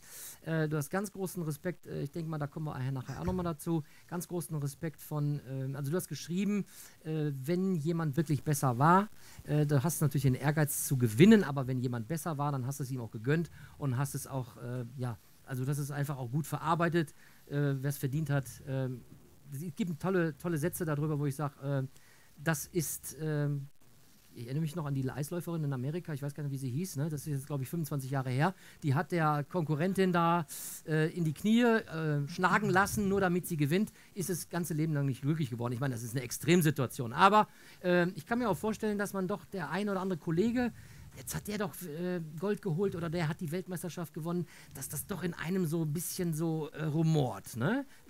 Äh, ne? Also das ist ja, die haben ja alle genauso trainiert wie ich, äh, manchmal Ja. sogar noch viel mehr, Ja. weil ich natürlich nicht ganz so, ich war nicht, also ich war schon fleißig, aber ich war auch sehr effizient. Ja. Also mein Trainer hat manchmal gesagt, faul, aber egal. Ähm, äh, ich finde es effizient, klingt schöner. so, ne? Also ich habe dann wirklich mir vorher auch im Kopf gemacht, bringt das mir jetzt wirklich was? Und Ja. habe da viel rumgetestet. Ja. Also deshalb gehe ich davon aus, in manchen Dingen haben viele mehr trainiert. Am Ende zählt aber ja das, was Ja. du bringst, und was du, ein Wurf reicht ja, musst ja nicht sechs weit haben. Und das war halt immer so mein Ding halt. Also auch ein bisschen auf Risiko zu gehen halt so. Ne? Ja, aber auf Risiko, äh, jetzt mal, wenn man Risiko geht, äh, kann ja auch mal sein, dass die Rechnung nicht aufgeht. Und äh, in, auf einer Seite in deinem Buch schreibst du äh, in der Überschrift der erste Frust. Äh, hast das, kannst du das abrufen oder wir können ja auf Seite 38 gucken? Guck mal. Ja, ja, ne, Ja, du, ne. du, du siehst ja, ne? Äh, ich tue Ich jetzt so, das- als ob ich mich geil vorbereitet habe. Ich habe einfach mal so gelbe ja, Zettel ja, reingehauen, ne? nein, nein, also so, äh, so schlimm. also ne? das- das Hier, ist der ja erste, das ist das, äh, der erste erste Frust. Frust, ne? Zwei ist in diesem Sport. Talent und Fleiß, genau, ja. Talent Das ist natürlich immer, das wird immer so dargestellt, Talent. Was ist Talent? Meiner Meinung nach ist Talent eigentlich auch schon eine gewisse Art von Fleiß, weil du hast ja für irgendwas eine riesen Begeisterung gehabt, eine riesen Leidenschaft gehabt. Ne? Also geh jetzt mal zu einem, ich sehe das jetzt an meinen Kindern oder an meinen äh, Sohn damals auch, ähm, dass du guckst genau hin und jetzt merkst, du, okay, der ist vielleicht jetzt äh, im, im Singen jetzt nicht so gut und der ist vielleicht jetzt im Musikspiel nicht so gut und macht aber jetzt das gerne halt so. Und dann, äh, dann macht er das ja gerne, dann macht er das öfters. Ja. Und, das ist ja, und dann sagt man mal, oh, da hat ein Talent dafür gehabt. Nee, das ist eigentlich, glaube ich, das, was dich mal am Anfang be mehr begeistert hat als andere Dinge. Mhm. Und da liegt es natürlich oft an den Eltern vielleicht. Ne? Was machen die mit dir in der Freizeit? Wie viele Dinge bringen sie dir nahe? Wie viele Techniken lernen sie dir? Dass du auch erstmal überhaupt die Möglichkeit hast, äh, zu unterscheiden, was möchte ich denn von den ganzen Dingen. Deshalb finde ich halt wichtig, dass ein Kind, gerade im Schulsport, deshalb der Schulsport, ähm, also zu DDR-Zeiten, der war schon klasse. Ne, da hast du eben alle Ja. Techniken gelernt. Ja. So, und jetzt konntest du dann später mal irgendwann entscheiden, was magst du, wo, wo hast du, oder da gab es eben auch dann die AGs, die, die Musik-AG, die, die Mal-AG, so, ne? also äh, mit Instrumenten und so. Also, also ich denke, ein Kind, für ein Kind sollte man ganz, ganz wichtig alle drei Komponenten äh, zur Verfügung stellen, dass die alles mal lernen, überall mal Kontakt bekommen und dann können sie entscheiden und dann merkt das eine Kind, Mensch, da habe ich, das gefällt mir mehr und dann macht das mehr. Und dann sagt mir irgendwann, wenn der mit 20 dann halt irgendwo seine erste Ausstellung macht mit Bildern, ja, der hat ja da Talent gehabt. Nee, der hat bestimmte Techniken gelernt, weil Ja, ihn das ja, gerne gemacht ja, hat. und der andere geht eben gerne mit einem Paddelboot und paddelt da eben, ne? so weil der Papa vielleicht eben mitgenommen hat oder so. Ne? Also ich denke, das ist ganz, ganz wichtig halt, dass man den Kindern so viel wie möglich halt einfach bis 12 bis 14 beibringen sollte und die Möglichkeiten eröffnen sollte. Und dann später wird das Kind sowieso seinen Weg gehen und das nehmen, was ihm am meisten Spaß macht. Das, äh, das wiederholt sich gerade, was du gerade, ich weiß ja, ob wir es beim Kaffee vorhin oder oben äh, gesagt hast, du würdest vielleicht auch gerne mal was unterstützen, was diese drei Säulen, und das sind genau diese, diese drei Säulen, die du beschrieben hast, wo man wirklich Kindern sagt, äh, das war die sportliche Komponente, die kreative äh, Ja. Komponente und Und die musische. die musische äh, Genau, Komponente. Das sind die drei wichtigen Säulen Ja, halt. ja. Und, äh, und, und dann noch eine andere Geschichte, da haben wir jetzt, äh, wir sind jetzt gerade dran, ich bin jetzt äh, in, Düsseldorf, mache so eine Behandlung äh, mit Eigenblut halt für mein Knie äh, und da bin ich auch Markenbotschafter und dort sind wir auch gerade dran, äh, so eine Sache, die in Amerika schon mal getestet worden ist in vielen Schulen, jetzt ja, zu aktivieren. Ihr habt da viel drüber gelesen und zwar, der Schulsport ist ja eh so das, was in der Schule hm, leider hinten dran steht. Ist schon mal ganz schwierig. Da will ich aber gar nicht rein, da, da hast du sowieso keine Chance. Aber wie wäre es denn, wenn alle Kinder früh 20 Minuten Bewegung machen würden? Mhm. Einfach nur vor der Schule Bewegung. Da gibt es äh, wunderbare Studien. Ich meine, jeder, der irgendwo im Sport oder im Medizinbereich tätig ist, weiß, dass natürlich eine ganz andere Sache passiert. ne? Durch Blutung etc. etc. So, das wäre genial. Der, der so hipplich ist, der kommt Ja. ein bisschen runter. Ja, ja, und der, der so früh noch verschlafen Ja, ist, der ist kommt- immer ja, hellwach. Also es ja. gibt ganz andere schulische Leistung und eine ganz andere Ruhe in der Klasse. Aber äh, das, hat, das hat auch was mit der Kultur zu, äh, zu tun, denn wenn ich denke, nicht nur die, die Kinder, sondern schauen wir mal China an, ja, also äh, die Chinesen denken da ganz anders. In einer großen Firma oder so, da ist das, äh, so habe ich mir das mal sagen lassen, äh, ganz normal, 8 Uhr oder was auch immer, Fließbandarbeiter, das ist ein, ich sag mal ganz offen, ist ein Scheißjob, aber die stehen alle auf dem Hof und äh, klar, jetzt kann man natürlich gespaltener Meinung sein, ne? also alle gerade und so ein bisschen, aber die machen Übungen oder im, im, im ich mir vorstellen, jetzt wir würden in der Stadt da vom Rathausplatz und äh, wird sich so eine Gruppe und macht Qigong und macht, ja, aber wir lachen darüber. Ich meine, äh, eigentlich ist das doch gut. Äh, runterkommen, wie du schon sagst, der eine wird wacher, der eine kommt runter und dann geht man eben halt zu seinem Tagesgeschäft über, was ist daran so schlimm. Aber gut, das ist unsere Kultur. Ja, so. Ja, aber die Leistung, sagen wir, für die Kinder würde man wirklich was Gutes tun, weil ich kann mich sehr, sehr gut noch an die Zeit erinnern, erste, zweite Klasse. Für jemanden, der sportlich so ein bisschen unterwegs ist, ist das Schlimmste ruhig sitzen und nach einer Dreiviertelstunde, Ja. wenn du dann endlich rennen willst, Ja. darfst du wieder nicht rennen. Ist dann eine Katastrophe. Warst du ein ne? Unruhiges Kind in der Schule? So, ich war ah, ich will also nicht, ganz so, nicht ganz so extrem, also so, aber ich war schon Bewegungs, ich hatte Bewegungsdrang Ja, halt, was ja, ja. fast jedes Kind hat. Und das ist eben, dort könnte man zumindest so, also das ist ähm, eine sehr, sehr interessante Sache und da bleiben wir auch dran. Wir haben sogar schon mit dem Grönemeyer jetzt mal, mit dem äh, Professor Grönemeyer schon gesprochen. Der Bruder von. Genau, genau. Ja. Und äh, mal schauen, mal schauen, was Ah, draus ja. wird. Also da habt ihr, habt ihr auch schon so äh, Ja. Kontakte geknüpft. das interessiert mich halt, der, Ja. der Bereich, ja. So, also äh, das ist so ein erster Teil. Trotzdem würde ich gerne nochmal, dass du etwas erzählst, denn ich fand das so bemerkenswert. Da schließe ich so ein bisschen den Kreis zu dem Thema auch äh, gönnen und auch fair bleiben. Du hast in deinem Buch geschrieben und bevor wir dann unseren Michael Wiese hier an die Seite äh, oder aufrufen und ich ihn begrüßen darf, würde ich gerne nochmal äh, darauf äh, Fairness als Lebenseinstellung. Das ist auch für dich wichtig. Das ist in dem Buch auch drin. Fairness als Lebenseinstellung. Stichwort, ich kannte den Jim Thorpe gar nicht. So, und äh, der, der Jim Thorpe war der Zehnkämpfer, schon ewig, ewig her, 1912. Steht in deinem Buch, du guckst so kritisch, äh, ich- es ist wirklich so. okay, äh, du kannst einsteigen. kannte mein Autor wahrscheinlich. der ist ein bisschen älter. Nein, aber es, es, ich, ich erzähle das jetzt einfach mal so. Der hat wohl angeblich gegen Amateurvorschriften verstoßen. Er hat eine Goldmedaille geholt ähm, im Zehnkampf. So, und äh, die wurde ihm dann aber aberkannt und ein anderer, ein Schwede, hat dann, ist aufgerückt. Und dieser Sportskollege hat gesagt, Dankeschön, aber ich nehme das nicht an, weil ich habe mir das nicht verdient. Ich habe mir das nicht verdient, weil er eigentlich es verdient hat. Und es war nur ein Reglement. Was, äh, das ist so wie, äh, ja, wie war das jetzt gewesen? Ich glaube, da kommen wir nachher nochmal beim Lutz Libowski dazu.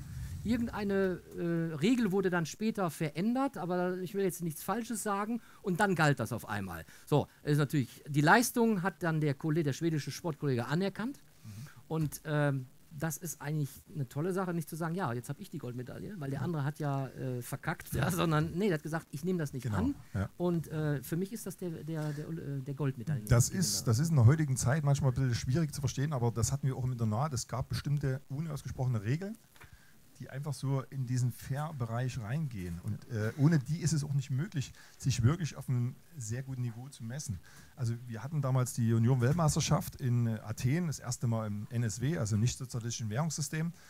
Äh, haben wir sogar ein bisschen Westgeld gekriegt und so. Das Ähm, ist so NSW, habe noch nie gehört. Hat das jemand schon mal gehört hier? Sage, nicht Sozialismus. So, Ich gehe mal eben sanitär entspannen, ne? Das hört sich genauso an, ne? Ja, das sind so die Okay. Dinger, die noch drin sind. Ne? Und äh, ja, und jetzt ähm, waren natürlich einige, die so um die 7 äh, 57, 58 Meter werfen konnten bei den Junioren. Und äh, im letzten Versuch hat mich dann ein bulgarischer Diskuswerfer gefragt, aber Magnesia, ich hatte natürlich, Ja. wir, ja, wir sind so trainiert worden, dass wir nämlich alles dabei haben. Ja, ne, so. ja. Und äh, ja, und dann hast du Magnesia-Topf halt, wo das Magnesia drin ist und so. Und dann hat er mich gefragt, ob er es kriegen kann. Ja. Das ist ganz logisch, klar. Ja. Wenn das andere war alle, gebe ich ihm das halt. Der hat sich auch bedankt dann bei mir danach, indem er sechs Zentimeter weitergeworfen hat und ich war auf Platz vier. Ja, man lacht, aber äh, So, ja. ja. aber das ist natürlich halt, ähm, ich konnte ja zu dem Zeitpunkt, ich war natürlich total sauer, bin dann zu meiner ersten Dopingkontrolle da rein halt so, und da gab es damals bei der Dopingkontrolle Bier. Äh, ich weiß nicht mehr genau, wie ich dieses Röhrchen getroffen habe, aber ich habe zumindest ziemlich viele Bier vorgetrunken. Ähm, das war jedenfalls total witzig. Was ich aber damit sagen will, ist, für mich war es im Nachhinein gesehen das Beste, was mir passieren konnte. Wenn ich damals Dritter geworden wäre, Ja. wäre ich sofort gefragt worden, ob ich hier in die Partei gehen möchte, Ah. dopingmäßig, Ah, ja, äh, oh. Mhm. ob ich jetzt nicht langsam mal dran denken wollte, mal was zu nehmen und so weiter. Das heißt, ich war christlich erzogen, also ich wäre, hätte ein Riesenproblem gekriegt. Also ich in der SED und so Ja. alles, das wäre schwierig geworden. Ja, Also, ja, also im Nachhinein guckst du manchmal so zurück und sagst, siehst du, guck mal an, diese Enttäuschung damals war- war, das Beste eigentlich auf dem Weg halt, was du wissen konnte, konnte. Also, das passiert öfters, ne, wenn man mal so zurückdenkt halt so. Lars Riedel, in Dienstlagen. Ganz fantastisch. So, und äh, ja, damit wir noch ein bisschen äh, Bewegung und Dynamik hier hineinbekommen, also du hast jetzt gleich ein kleines Päuschen, ich darf dich mal, äh, bitte auf der Bühne, bleib auf der Bühne, nur mit genau so, weil wir werden ja jetzt die Bühne ein bisschen vergrößern und äh, bevor wir aber den nächsten Gast auf die Bühne bitten, äh, ja, sonst wäre natürlich jetzt Melvin dabei, aber wir machen das ja anders. Ähm, sagt euch das was hier? Ja, ne? Ja, also es gibt ja hier, Lars, guck, schau mal hier, das Maß ist voll, erster, das Maß ist voll, Fanclub Dienstlaken 2018. Ja, also, so und einmal umdrehen, so. So, machen wir das dann so, mittig hier, ne? So sieht das aus. So, und der Fanclub äh, ist ja hier mit äh, zehn Männern und einer Frau vertreten. Heute sind es neun Männer. Die Heidi habe ich nicht gesehen, oder ist die Heidi da? Wo? Da ist die Heidi, Entschuldigung, ja. Heidi war äh, das erste weibliche Mitglied. Ist mir gerade jetzt eingefallen. Und äh, ja, die Laura äh, darf ich jetzt nach vorne bitten. Und äh, ja, wer ist jetzt der Überbringer oder der ganze, der ganze Fanclub kann ja mal ganz äh, kurz nach vorne kommen. Ja, und jetzt darf ich mal, äh, lieber Martin. Ja, ähm, sind die, ja, ist an halt, so. Oh. Und du, ist Mikro an? Ja, ist an, so. Ja, jetzt kommt ruhig mal nach vorne, jetzt machen wir nochmal offizielle Clubübergabe und die Laura kann sich ja Wo auch ist denn die schon... liebe Laura? Wo ist denn die liebe Laura? Da kommt sie. Jetzt müsst ihr euch mal, jetzt müsst ihr euch mal echt vorstellen. Das schafft ihr. Gedanklich ist der Melvin jetzt in der Begleitung. Der spielt den Tusch, ja? Der spielt den Tusch. Der spielt die E-Gitarre, ja? Also Melvin, wir spüren dich. So, und jetzt übergebe ich an, an den Clubvorsitzenden oder wie auch immer. Bitte. Ja, liebe Laura, du bist dann die zweite Dame im Bunde. Herzlich willkommen. Vielen Dank. Und das Trikot ist für dich. Bitte schön. Ja, siehst du. Ja. Das ist das ist doch hier live. Da wo das geht, das geht doch noch. Ja, das wird doch passen. Aber du kannst doch auch hier den ersten Knopf aufmachen. Trotzdem geht das. Hör mal, das, das steht hier. Fantastisch. Herzlichen Glückwunsch. Also, du schämst dich. Warum?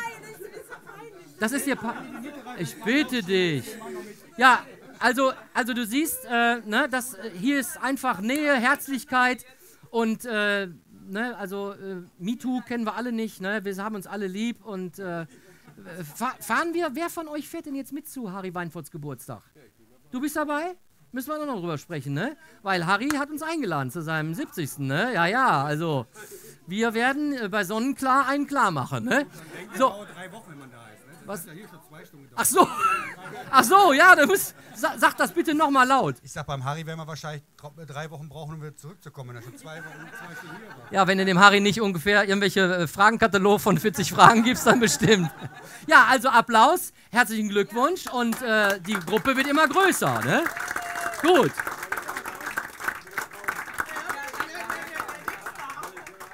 So, dann darf ich euch wieder, äh, ja, Plätze habt ihr ja nicht, aber irgendwelche Stellplätze, ne? Auf die Stellplätze bitten, ne? Genau, ihr seid die, Klo, die Klowächter, ne? Seid ihr. Ja. So, ähm, ich würde jetzt vorschlagen, ähm, dass wir musikalisch mit Melvin zusammen, ähm, und ich brauche euch natürlich jetzt, in der Strophe brauche ich euch, und ich würde mal nochmal bitten, ähm, ich darf dir noch ein Gläschen spendieren, also ein Altbier für den Lars Riedel. Ähm, Gabi ist angekommen, ein Bierchen für Lars, eine äh, Weißweinschorle für Roland. Und der Michael Wiese wird auch gleich gefragt, was er dann trinken möchte. Oder kann man den Michael Wiese schon. Was will der Michael Wiese haben? Auch ein Alt. Und irgendeiner sagt einen Stolperknaben, weiß ich nicht. Okay. Gut, also wie üblich, jetzt nichts Neues. Ähm, das ist die Strophe für unseren äh, Gast, den Michael. Ne? Und äh, jetzt ist das Vorspiel von Melvin. Der wiederholt das. Und jetzt kommt der Einsatz. Wir bleiben in Bewegung auf diesem Platz der Gast. Wir haben uns gedacht, dass der ganz gut passt. Sein Leben ist der Sport, das Spiel und Inklusion. Willkommen, Micha Wiese, und da ist er schon. Alles läuft so, wie es soll. Das Maß ist voll. Okay, also beim, beim, beim Refrain haben wir noch gerade die Kurve gekriegt, ne? Bisschen spät. Mein lieber Michael, schön, dass du da bist und ich muss ganz ehrlich sagen, ich freue mich riesig, ähm, dich auch hier in deiner Funktion des BSS und was jetzt BSS heißt, das wirst du uns gleich erklären, hier bei uns zu Gast bist, denn äh, du sagtest ja zwar auch ähm, oben im Backstage-Bereich, ähm, Lars, du als auch die Liv, alle Sportler. Und wenn man sich unterhält, wie man trainiert, aber da hast du auch gesagt, das ist eine ganz, ganz andere Welt. Und darüber wollen wir uns dann ja auch nochmal ein paar Minuten unterhalten.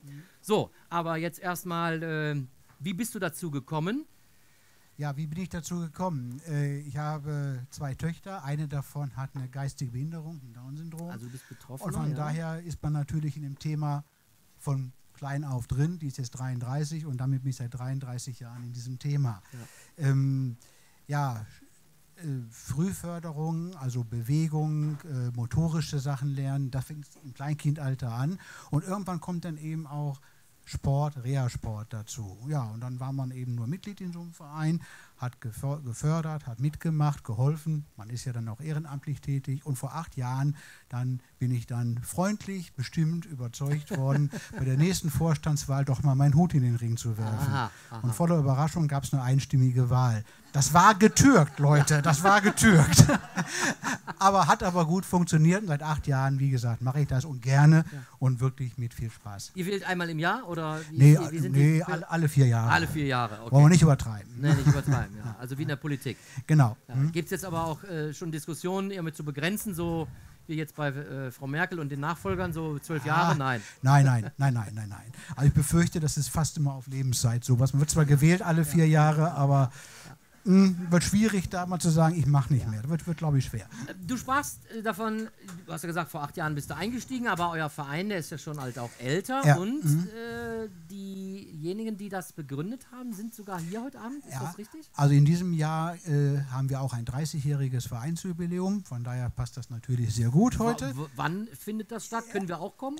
Also es gibt noch keinen Termin, wird Ah. im Sommer sein, aber ich denke an euch, da werden wir uns was einfallen lassen. Ja, ja. Da, da kommt doch Ja, irgendwas. also die Presse ne? wird mit Sicherheit äh, darüber berichten. Gehen wir mal von aus, ne, dass das passiert. Ja, äh, gegründet worden ist dieser Verein von zwei ja, Menschen, die mir auch die mir auch lieb geworden sind, die auch Freunde dann sind. Einer davon hat sie Melvin nachgemacht. Der Michael Overlöper ist krank geworden heute und leider nicht da. Schlechtes Aber Vorbild, ja, der aber- zweite, der äh, Jürgen Weber ist da, der sitzt da hinter der Säule. Ah, ja, da ja, winkt ja. er. Das ist der. Jürgen. Ja, den kennen wir auch. Und das war auch der mit der sanften Überzeugung da, ne? dann vor acht Jahren den Staffelstab an mich weiterzugeben. Dann. Ähm, es ist ja auch eine, ich meine das jetzt auch posit äh, positiv, es ist eine Belastung, aber es ist auch eine Verantwortung. Und äh, ich kann mir auch sehr gut vorstellen, dass ein Gründungsmitglied, und ich finde das gar nicht schlecht zu sagen, okay, vielleicht auch mal eine andere Art und Weise, wie vielleicht der Vorstand ähm, aktiv wird und auch einfach auch mal andere ranlassen. Äh, das macht ja auch Sinn und schön trotzdem, weil, äh, ne, Herr Weber, wir kennen uns ja, ne? Äh, das ist ja nicht so, dass dann derjenige, äh, in, auch wenn er in der, vielleicht in der zweiten Reihe ist, aber er kann noch einiges tun.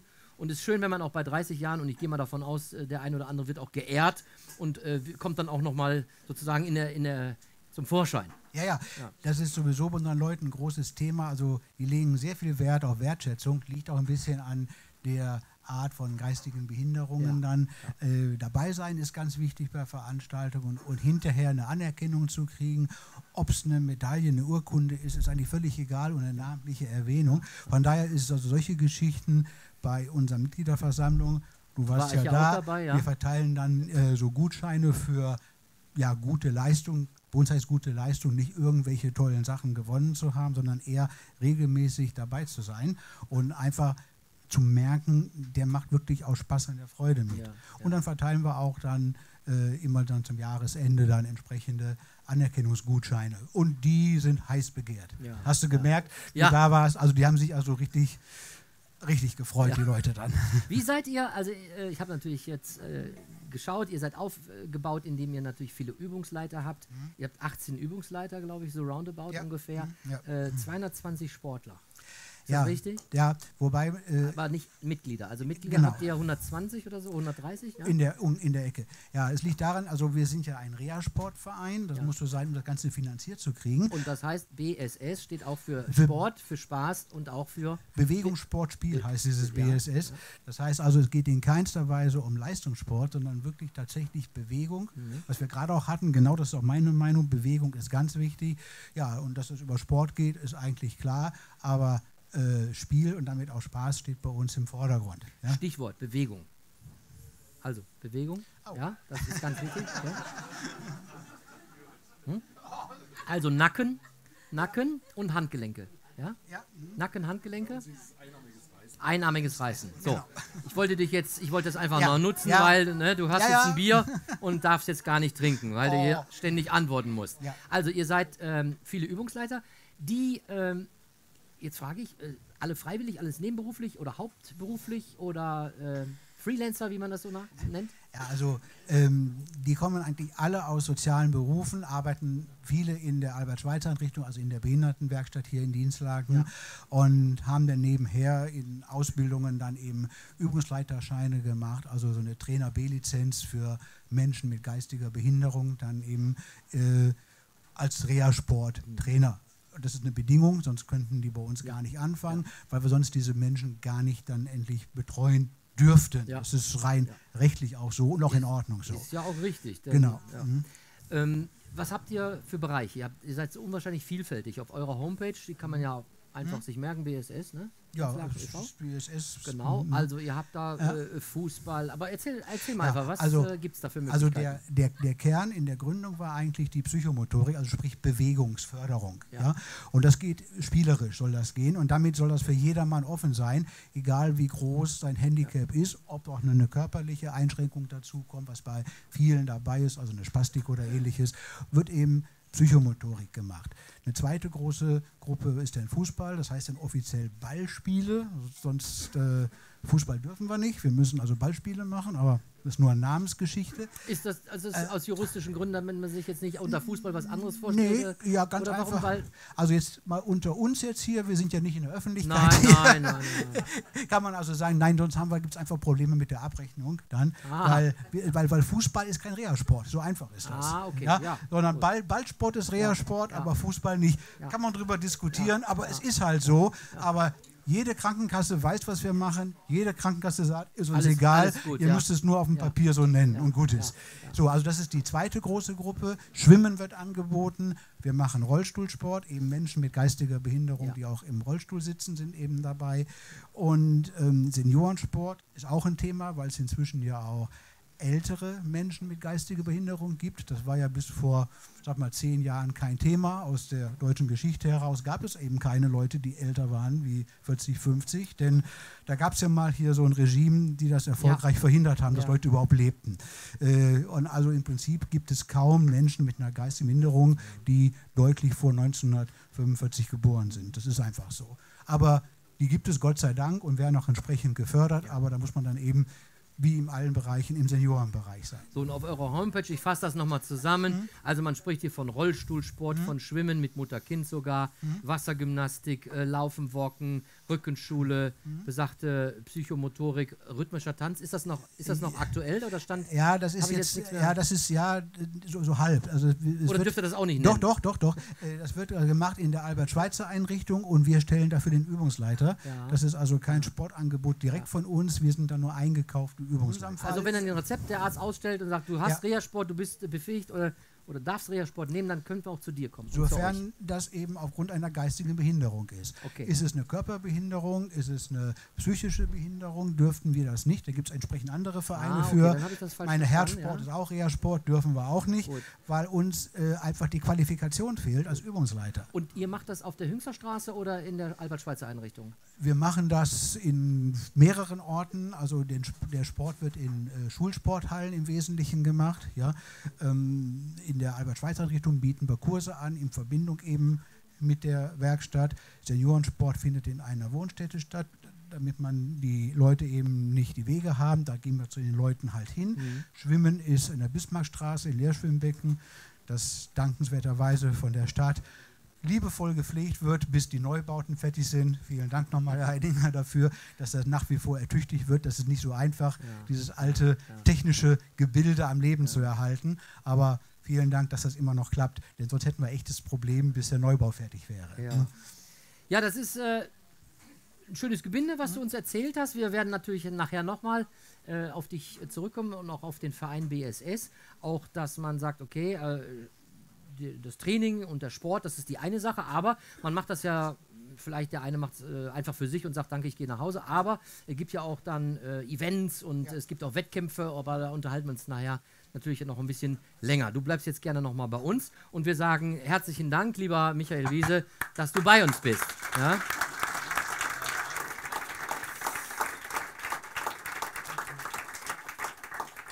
So, und äh, ich habe mir jetzt gedacht, vielleicht bist du gleich so lieb, auf die Ecke zu gehen. Dann kann ich nämlich auch die äh, Liv Grete hier gleich willkommen heißen. Ich möchte jetzt aber schon vielleicht was loswerden. Und zwar, jetzt ist die Aufmerksamkeit so hoch, nachher zum Schluss, am Ende, kurz vor der zweiten Halbzeit Handball, ne? Dann geht das vielleicht immer so unter, ne? Ja. Ich habe hier die Uhr, die habe ich immer im Blick, aber da ist jetzt genau dieser weiße Kasten davor, ne? Vielleicht kann man mir die Uhr mal ein bisschen nach rechts stellen, dann habe ich eine größere Chance. Ne? Nee, das ist ganz schlecht. Also irgendwie, irgendwie dahin. Ne?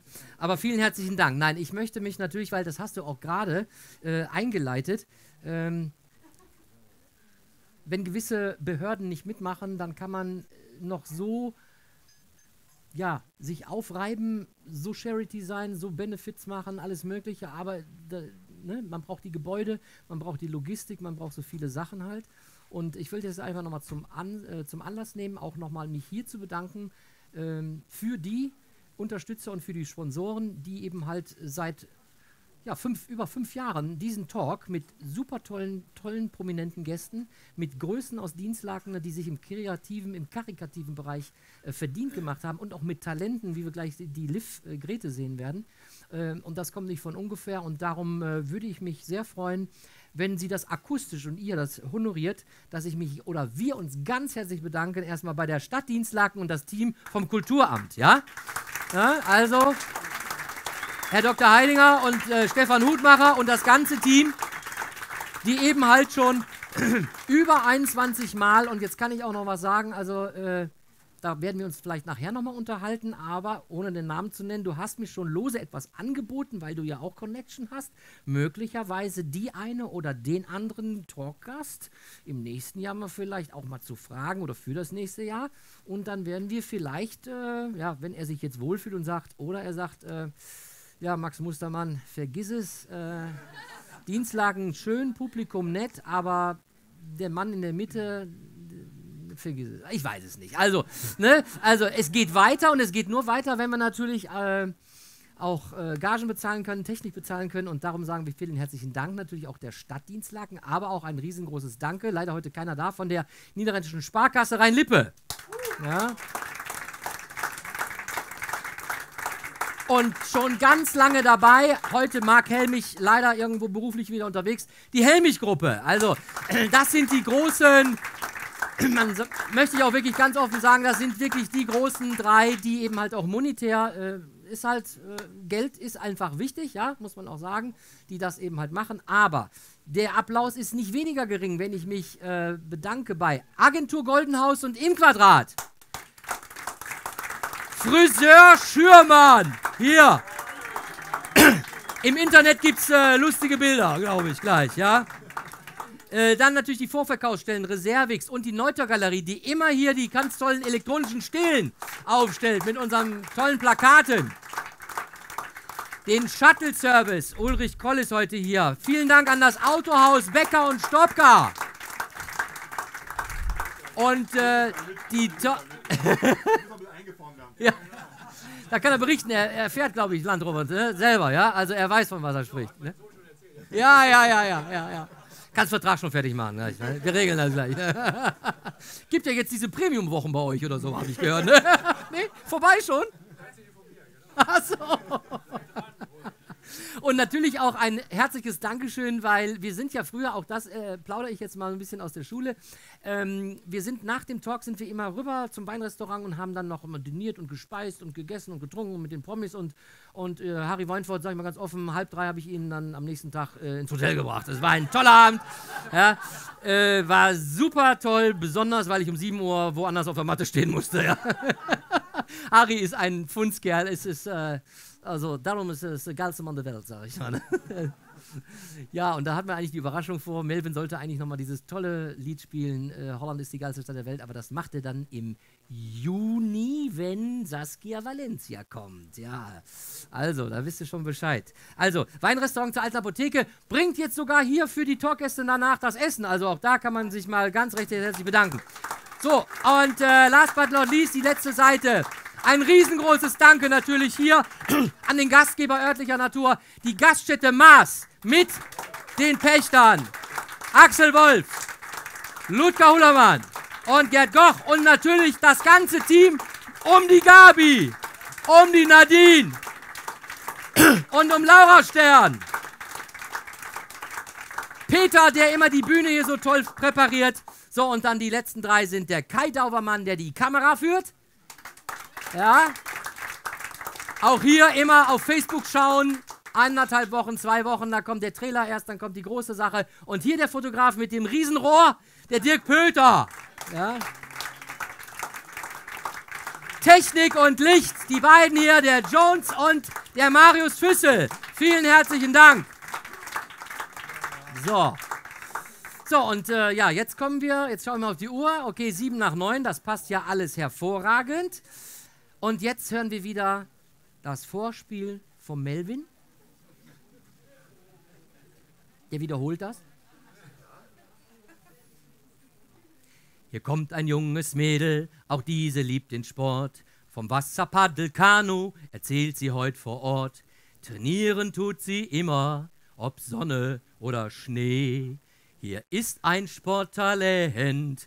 Willkommen, Liv Grete. Ging nicht anders, ne? Alles läuft so, wie es soll. Das Maß ist voll. Willkommen. Jawohl, setz dich. So. Hast du was zu trinken? Und wenn nicht, was möchtest du trinken? Eine Cola Light. Äh, hat die Mama jetzt geantwortet oder die Liv? Achso, Cola Light, okay. Äh, Cola Light.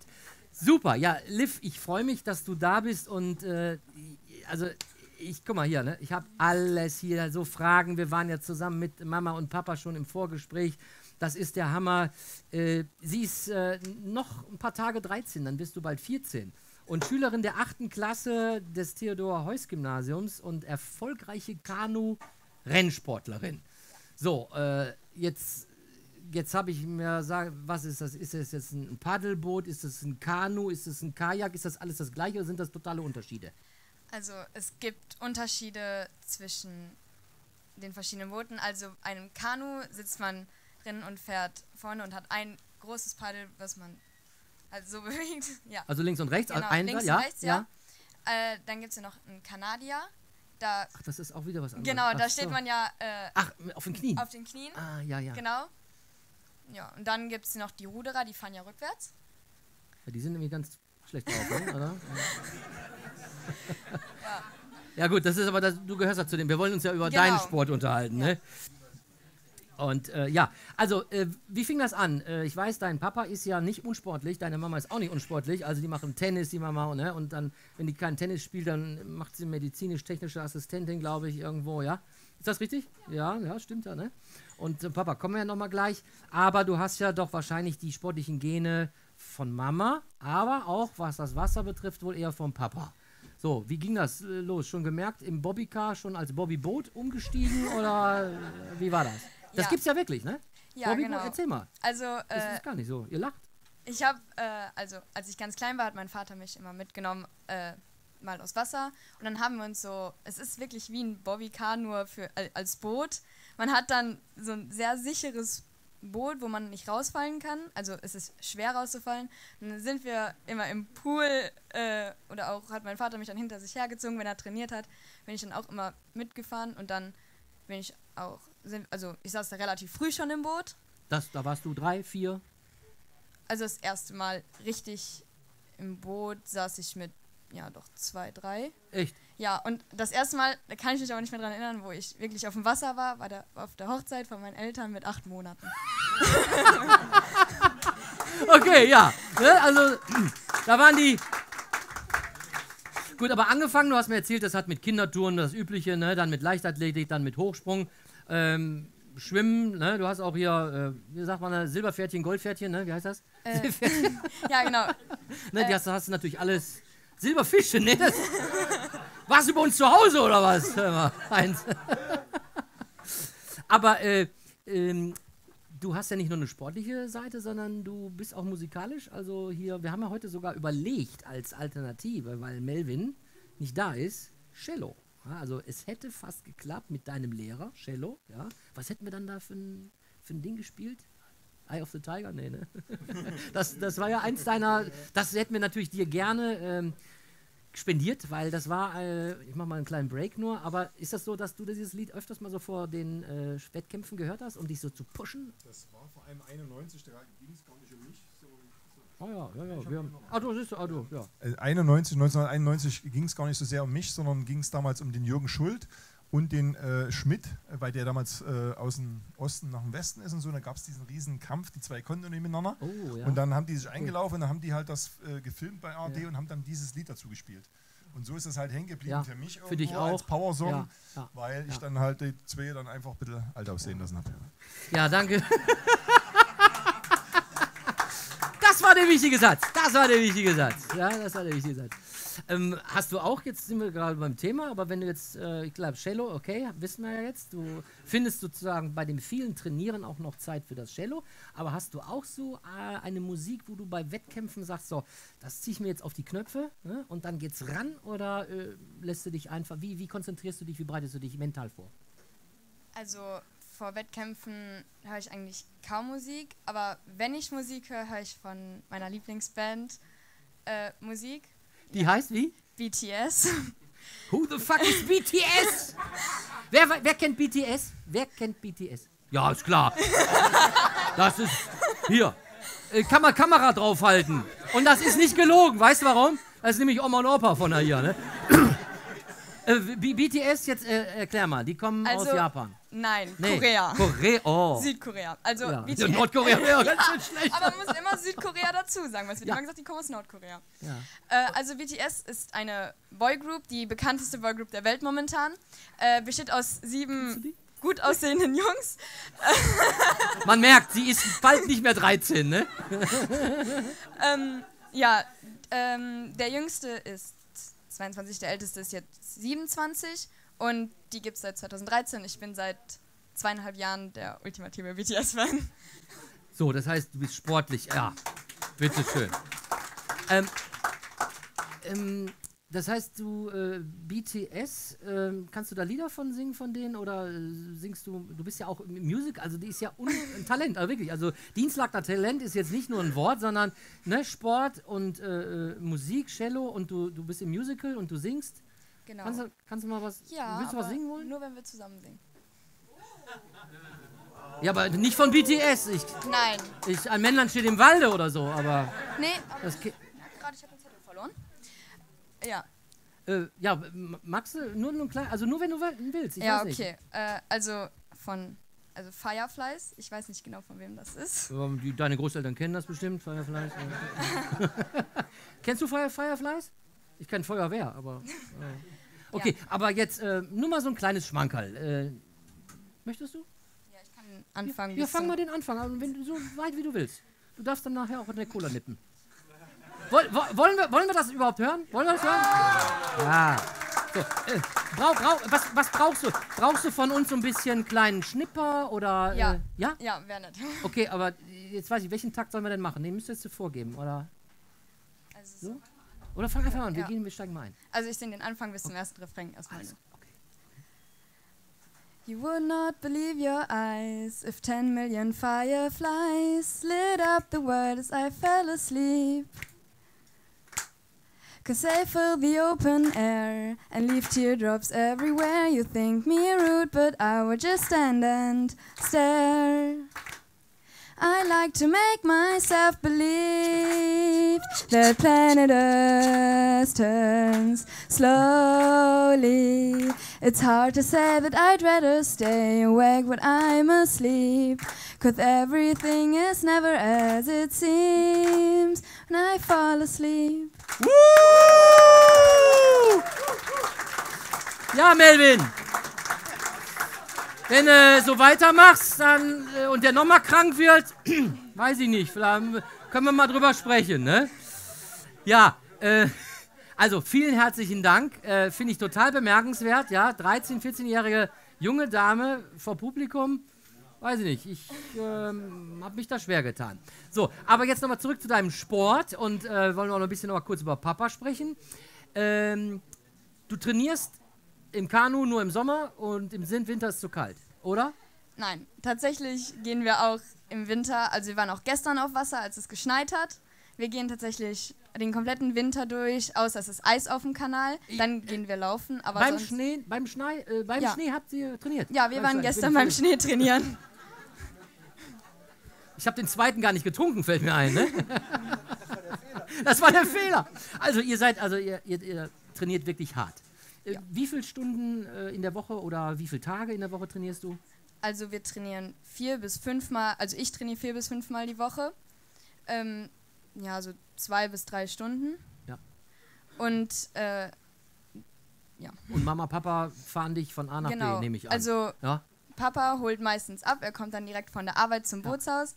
Und Mama fährt hin oder Freunde, die auch. Also ganz ehrlich, das haben wir schon öfters mal gehabt. Wir haben junge Talente gehabt und äh, das geht einfach nicht ohne die Eltern oder die Großeltern, die das einfach unterstützen. Auch nochmal einen großen Applaus an die Eltern, die ihren Kindern das auch immer ermöglichen. Ne? Das passt ja auch äh, zu, zu, zu deiner Sache. Also auch unterstützen. Was nützt es dann, wenn das Kind Talent hat? Und äh, ja, wenn keiner da ist, der dann in irgendeiner Form das dann auch ja, unterstützt.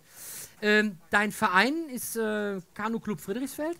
Ja. Fühlt sich wohl, schon zweite Heimat, glaube ich, oder? Ja, also man ist sehr oft da. Also ich bin teilweise mehr am Verein als zu Hause unter Ja. der Woche. Ja. Und man hat da seine Freunde und Ja. Okay, Stichwort Freunde. Einen festen Freund noch nicht? doch. Oh! Mit alles, alles früher, okay? Jetzt kommt's raus. Aber, und das, das kriegst du alles unter einen Hut. Freund, Cello, Kanu, Musical, BTS, Schule. Nee, also ähm, Schule ist ja. ja, Nee, Schule. also Schule. Also Schule hat halt den Hauptteil mit Training. Also mein Freund macht auch Kanu-Rennsport. Das passt ja, ne? Ja, Oh, ähm, das passt ja. Gut. Er kommt aber aus Neuss, also Oh. wir sehen uns nicht so oft. Okay. Aber mit, also Musical AG ist ja von der Schule aus und ich bin ja auch noch im Orchester. Und äh, Cello ist dann, passt auch noch rein. Das Üben hängt dann mal ein bisschen hinten dran, wenn man dann doch eine sehr vollgepackte Woche hat. Ja, das glaube ich. Aber an sich passt es eigentlich doch gut, alles unter den Hut, auch mit Lernen und Und, und Papa ist und Mama sind natürlich auch stolz auf dich, denke ich. ja. So, und dein Papa, dein Papa war mal Olympionike, ne? Ja. Und zwar genau 1909 äh, 1996 in Atlanta. Ja. Und die beiden haben sich, wo ist der Lutz Lewowski? Wo ist er? Da ist er. Da haben wir den zweiten. Guck mal, ganz nah bei dran. Jetzt mal hier, das ist was fürs Foto. Lutz Lewowski und Lars Riel, ne? Das ist doch mal was Feines. So, also, hier jetzt mal. Ja? also, Nö, das könnt, das könnt ihr ruhig machen. Wir, wir können das ja schneiden nachher, das ist ja kein Problem. Ne? Nein, aber äh, lass mich di- dir eine Frage stellen. Äh, At At Atlanta, ähm, war das auch jetzt so, dass du dich zurückziehen musstest und sagen so, wie machen wir das jetzt? Äh, Nein. Du hast dein Ding es, durchgezogen? Es, es gibt keine Katakomben unterm Wasser. nein, das gibt es, nein, das, das gibt es nicht. Äh, äh, ihr könnt, äh, das, ich, da geht, da geht es mittendrin. Ich muss mal, ich muss mal. Lass laufen, egal. Ja. Egal. Nein, ähm, aber in Wikipedia, ich kann es nur empfehlen, Lutz Liwowski in Wikipedia, da steht einiges drin und äh, er war so bescheiden, muss ich sagen, als wir das Vorgespräch haben, dass ich das äh, aber aus der Zeit geschuldet her. Äh, du bist dann aber in Atlanta mit, mit welcher, äh, mit welchem Platz rausgegangen? Äh, Vierter und Fünfter. Vierter und fünfter. Vierter 1000 Meter und Fünfter 500 Meter. Äh, Kajak Ah, ne? Also zwei, zwei Olympioniken haben wir hier. So, von Beruf aus bist du Maschinenbauer. Ja. Und äh, du hast auch ganz einen großen Beitrag geleistet zu einer neuen Entwicklung eines Kanus. Ist es richtig? Ja, Ja. ja, Paddel auch, aber ist jetzt. Gut. Das steht nicht in Wikipedia. Das steht nicht in Wikipedia.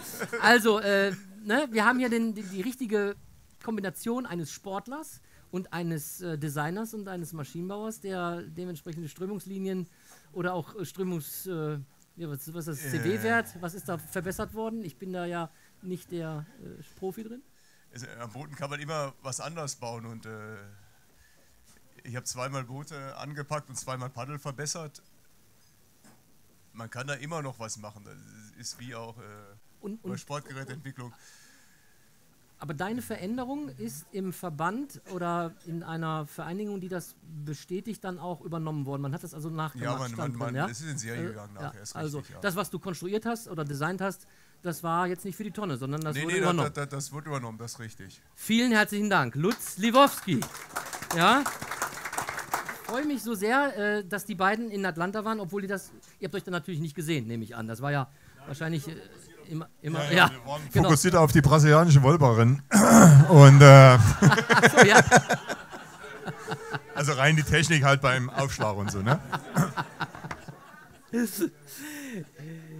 Ja, also, äh, ja, wie ihr seht, also wie immer, äh, Roland Donner immer mit unwahrscheinlich vielen Fragen, aber ich immer schaue immer mal auf die Zeit. Aber abschließend möchte ich nochmal äh, dich fragen: äh, Schule, da gibt es zwei, glaube ich, zwei Bereiche. Da findest du dich gut wieder in der Sprache und in, was ist das, Social Science? Ja, Oder was sind das? Social Science ist Erdkunde auf Englisch. Okay, Ja, also mein das Liebling, ist dein Ding. ja, also meine Lieblingsfächer sind Geschichte, äh, also Social Science und Englisch. Gut. Dein Berufswunsch ist welcher? Also wenn es mit dem Sport weiter gut läuft, halt äh, Sportpolizei, da dieses, dass der, der DKV die Sportlerkarriere fördert und man dann, Ah. wenn man kein aktiver Sportler mehr ist, zur Polizei, Bundeswehr oder Feuerwehr gehen kann. Okay, und die Bundespolizei, die, die fördert das natürlich stark. Das heißt, du hast da eine Ausbildung, aber kannst auch die, hast auch da die Möglichkeit, natürlich deinem, dein Sport zu intensivieren. Genau. Oder wenn es mit dem Sport halt nicht so gut läuft oder halt trotzdem weiter gut läuft, aber ich nicht zur Polizei möchte, weil wollte ich halt Medienwissenschaften studieren, dann im Fernsehen oder im Radio oder so. Aber Ah, ich glaube, in die Richtung, da werden wir dann noch was von dir hören. Ne? So, dein, dein, letzter großer, dein letzter großer Sieg war welcher? ähm, das war im Vierer auf der deutschen Meisterschaft auf 2000 Meter der dritte Platz gegen 14, also 13 und 14-Jährigen. Wir waren die Jüngeren. Ja, und, die, und, dann, und trotzdem, dass ihr die Jüngeren gewesen seid, ne? So, und ganz, und ganz abschließend, es gibt jetzt nochmal einen Kader, in dem du, glaube ich, dieses Jahr hingehen wirst und trainieren wirst, wo auch, glaube ich, die Eltern dabei sein werden. Ist das richtig oder auch nicht? Nein, Nein. also. Äh, Ist wir- auch vielleicht gar nicht schlecht. Wir machen, ne? also Wo der, bist du dann? Äh, der DKV, also der Deutsche Kanuverband, äh, vor allem der, äh, sind, ich bin jetzt im Kader und wir fahren mit sieben Mädchen nach Slowenien? Nein, Oberhof. Oberhof. Wir so, fahren nach ja. Oberhof. So. Äh, ja, und zwar die ersten fünf Tage direkt nach meinem Geburtstag. Jawohl. Das ist natürlich sehr toll. Und wir fahren im Sommer nach Slowenien, also als Trainingslager mit unseren Eltern. Ja. Und da eben halt auch mit den Eltern, mit vielen Familien, die auch zusammen einfach ihren privaten Urlaub halt machen, das unterstützen, sich wahrscheinlich dann auch äh, ja, gut verstehen, also die Eltern selber und dann natürlich auch die Kinder unterstützen. Also äh, vielen herzlichen Dank, liebe Liv, Grete Livowski. So, jetzt ist aber irgendwie. Äh, möchtest du noch was sagen? Du, du wolltest noch was sagen. Ja, äh, ich wollte noch sagen, dass da hinten ganz viele Eltern von meinen Paddelkollegen stehen und ich mich bei ihnen bedanken wollte, dass sie auch immer ähm, meine Freunde aus dem Verein zum Training bringen, damit man nicht alleine trainiert. Dankeschön. Dankeschön, euer Applaus. Vielen herzlichen Dank.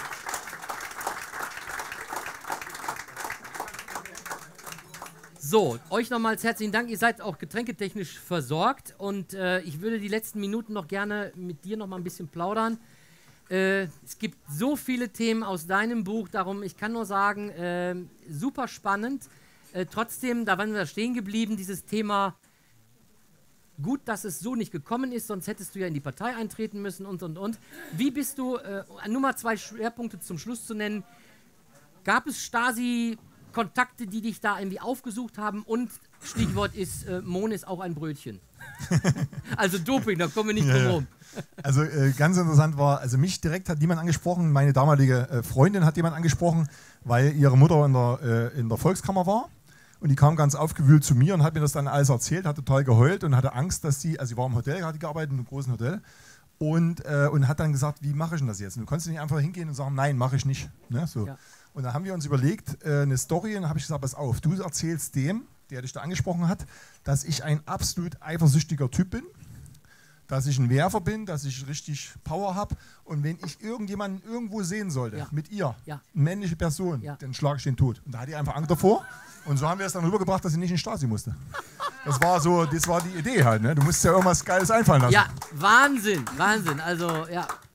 Taktik, Cleverness. Und, und eine Sache, also einer, der bei meiner Mutter oben drüber wohnte, ähm, der ist dann später mal nach der Wende zu meiner Mutter gegangen und hat gesagt, Frau Riedel, bei mir waren die Leute dann immer da von der Stasi und haben dann gefragt, wenn es ins Ausland ging, ins westliche Ausland, NSW, was ich Ja, schon ja, ja, ne? ja, ja.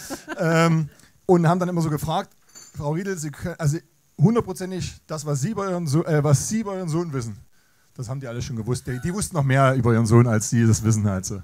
So waren sie. War ich auch froh drüber. So, ja, so, so waren sie, ja. Und, und du hast, äh, du hast in deinem Buch, so wenn ich es noch richtig in Erinnerung habe, äh, gesagt, dass die heutigen Mohnbrötchen, die werden vorher behandelt und früher hätte es das ein Problem mitgegeben mit Mohnbrötchen vom. Ja, also Mohn hat ja, also Ja. ähm, Mohn ist schon eine interessante Pflanze. Ähm, da kann viel draus gewonnen werden und ähm, also Deshalb ich bin ich samstags beim Frühstück ich immer so. kenne das bloß, gut. also DDR-Zeiten. DDR-Zeiten gab es ja diese ganzen Geschichten nicht halt, obwohl wir mit Kolumbien ja trotzdem relativ gute Verbindung hatten. ähm, aber die haben uns dann, keine Ahnung, jedenfalls, ähm, ich weiß bloß, dass dann so ein, so ein Saft gab irgendwie so, für irgendwas halt so in der Apotheke und da war viel Mond drin. Und es gab bei uns Wasserballer und die haben immer alles getestet und probiert. Die waren total crazy. Ja. Und immer abends, wenn wir dann so Partys gemacht haben, halt so, dann haben die sich das Zeug halt zum Alkohol gehauen. Die waren halt wie äh, zugekifft irgendwas. Ja, Keine Ahnung ja, also ich weiß bloß, dass Mohn halt eine ganz äh, heikle Geschichte war bei Dopingkontrollen halt so. Ja. Und äh, mir haben die nie geschmeckt.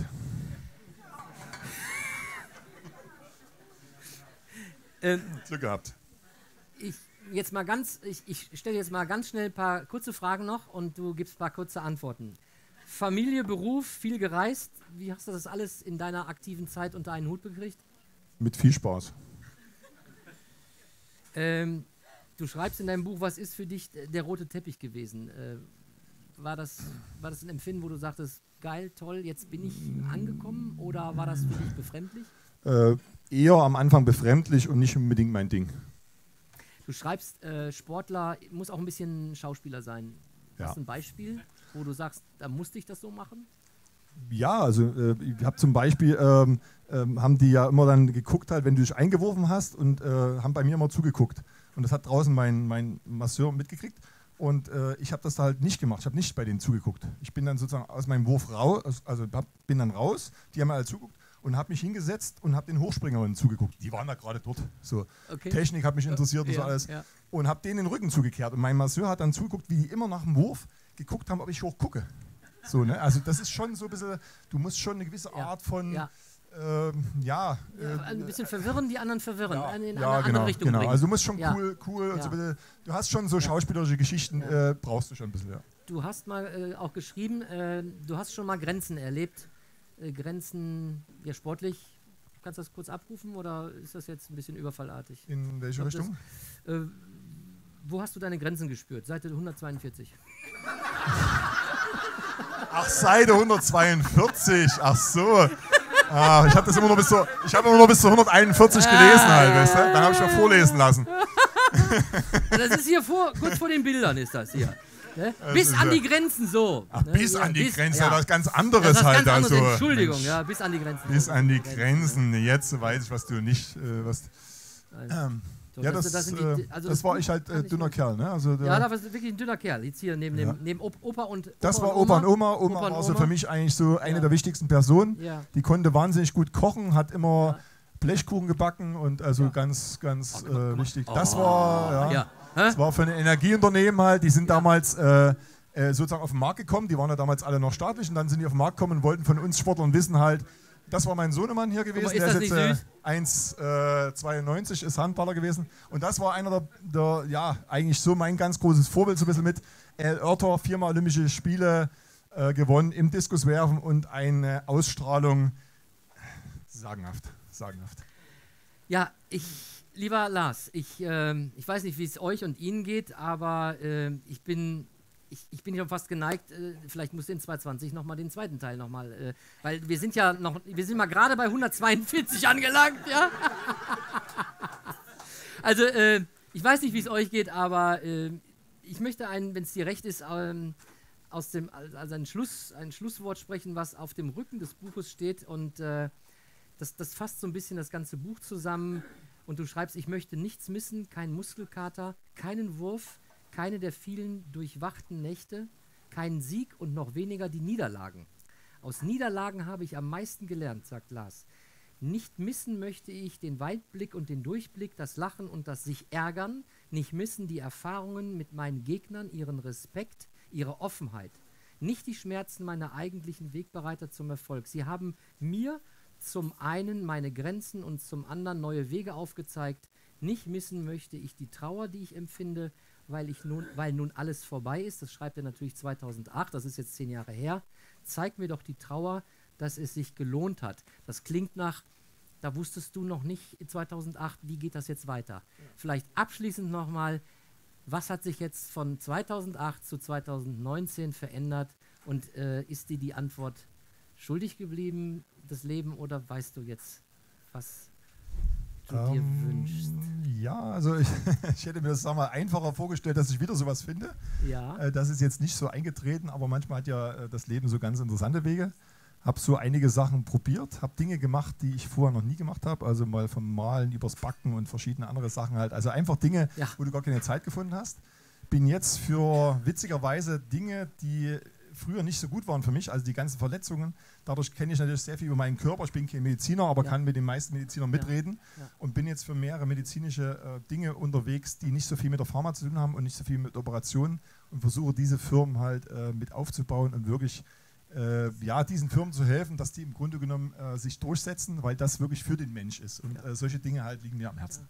Ist da jetzt noch ein bisschen Trauer drin, jetzt in der Epoche von 2008 zu, zu 19 oder ist es ein bisschen geringer geworden oder bist du nach wie vor immer noch ein kleiner Also ich bin, ich bin, eigentlich bin ich da komplett schon weg, weil ich muss auch ganz ehrlich sagen, dieses Training ist knall- und knüppelhart.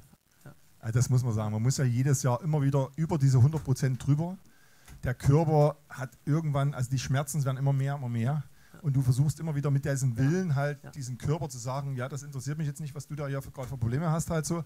Ich will aber jetzt nochmal gewinnen. So und irgendwann der, macht der Körper Schluss. Und ich habe selbst damals noch eine Schmerztherapie gemacht, die hat das alles noch schlimmer gemacht. Und dann irgendwann habe ich gemerkt, da ist irgendwas äh, natürlich halt, was das Ganze verhindert und habe dann einfach mal das gemacht, was mir Spaß macht. Also den ganzen Tag nur rumgelegen, den Vögeln zugehört, die haben gezwitschert und habe einfach nur alles alle fünf Grad sein lassen. Das war echt ganz toll. Lars Riedel. Live in Dienstlaken beim 21. Das Maß ist voll. Wir sagen ganz, ganz recht herzlichen Dank. Ich habe es so empfunden. Ich hoffe, Sie und ihr auch. Kurzweilig und ich glaube, die Leute waren nett zu dir. Ja? Also, vielen herzlichen Dank, lieber Lars. Vielen herzlichen Dank, liebe Liv. Vielen herzlichen Dank, lieber Micha. Und äh, es gibt immer ein kleines Präsent und ich weiß nicht, ob der Axel das jetzt schon vorbereitet hat. Er kommt nach vorne und dann wird er einiges was dazu sagen. Äh, ich kann nur sagen, äh, ich glaube, wer Handball schauen will, einfach nach hinten verpieseln. 25, 22 für Deutschland. Jawohl. Bleibt noch hier. Entspannt noch, macht noch Fotos, gerne mit Lars. Und äh, wir sehen uns. Ich freue mich auf äh, den nächsten Talk. Ihr Roland Donner. Schönen guten Abend.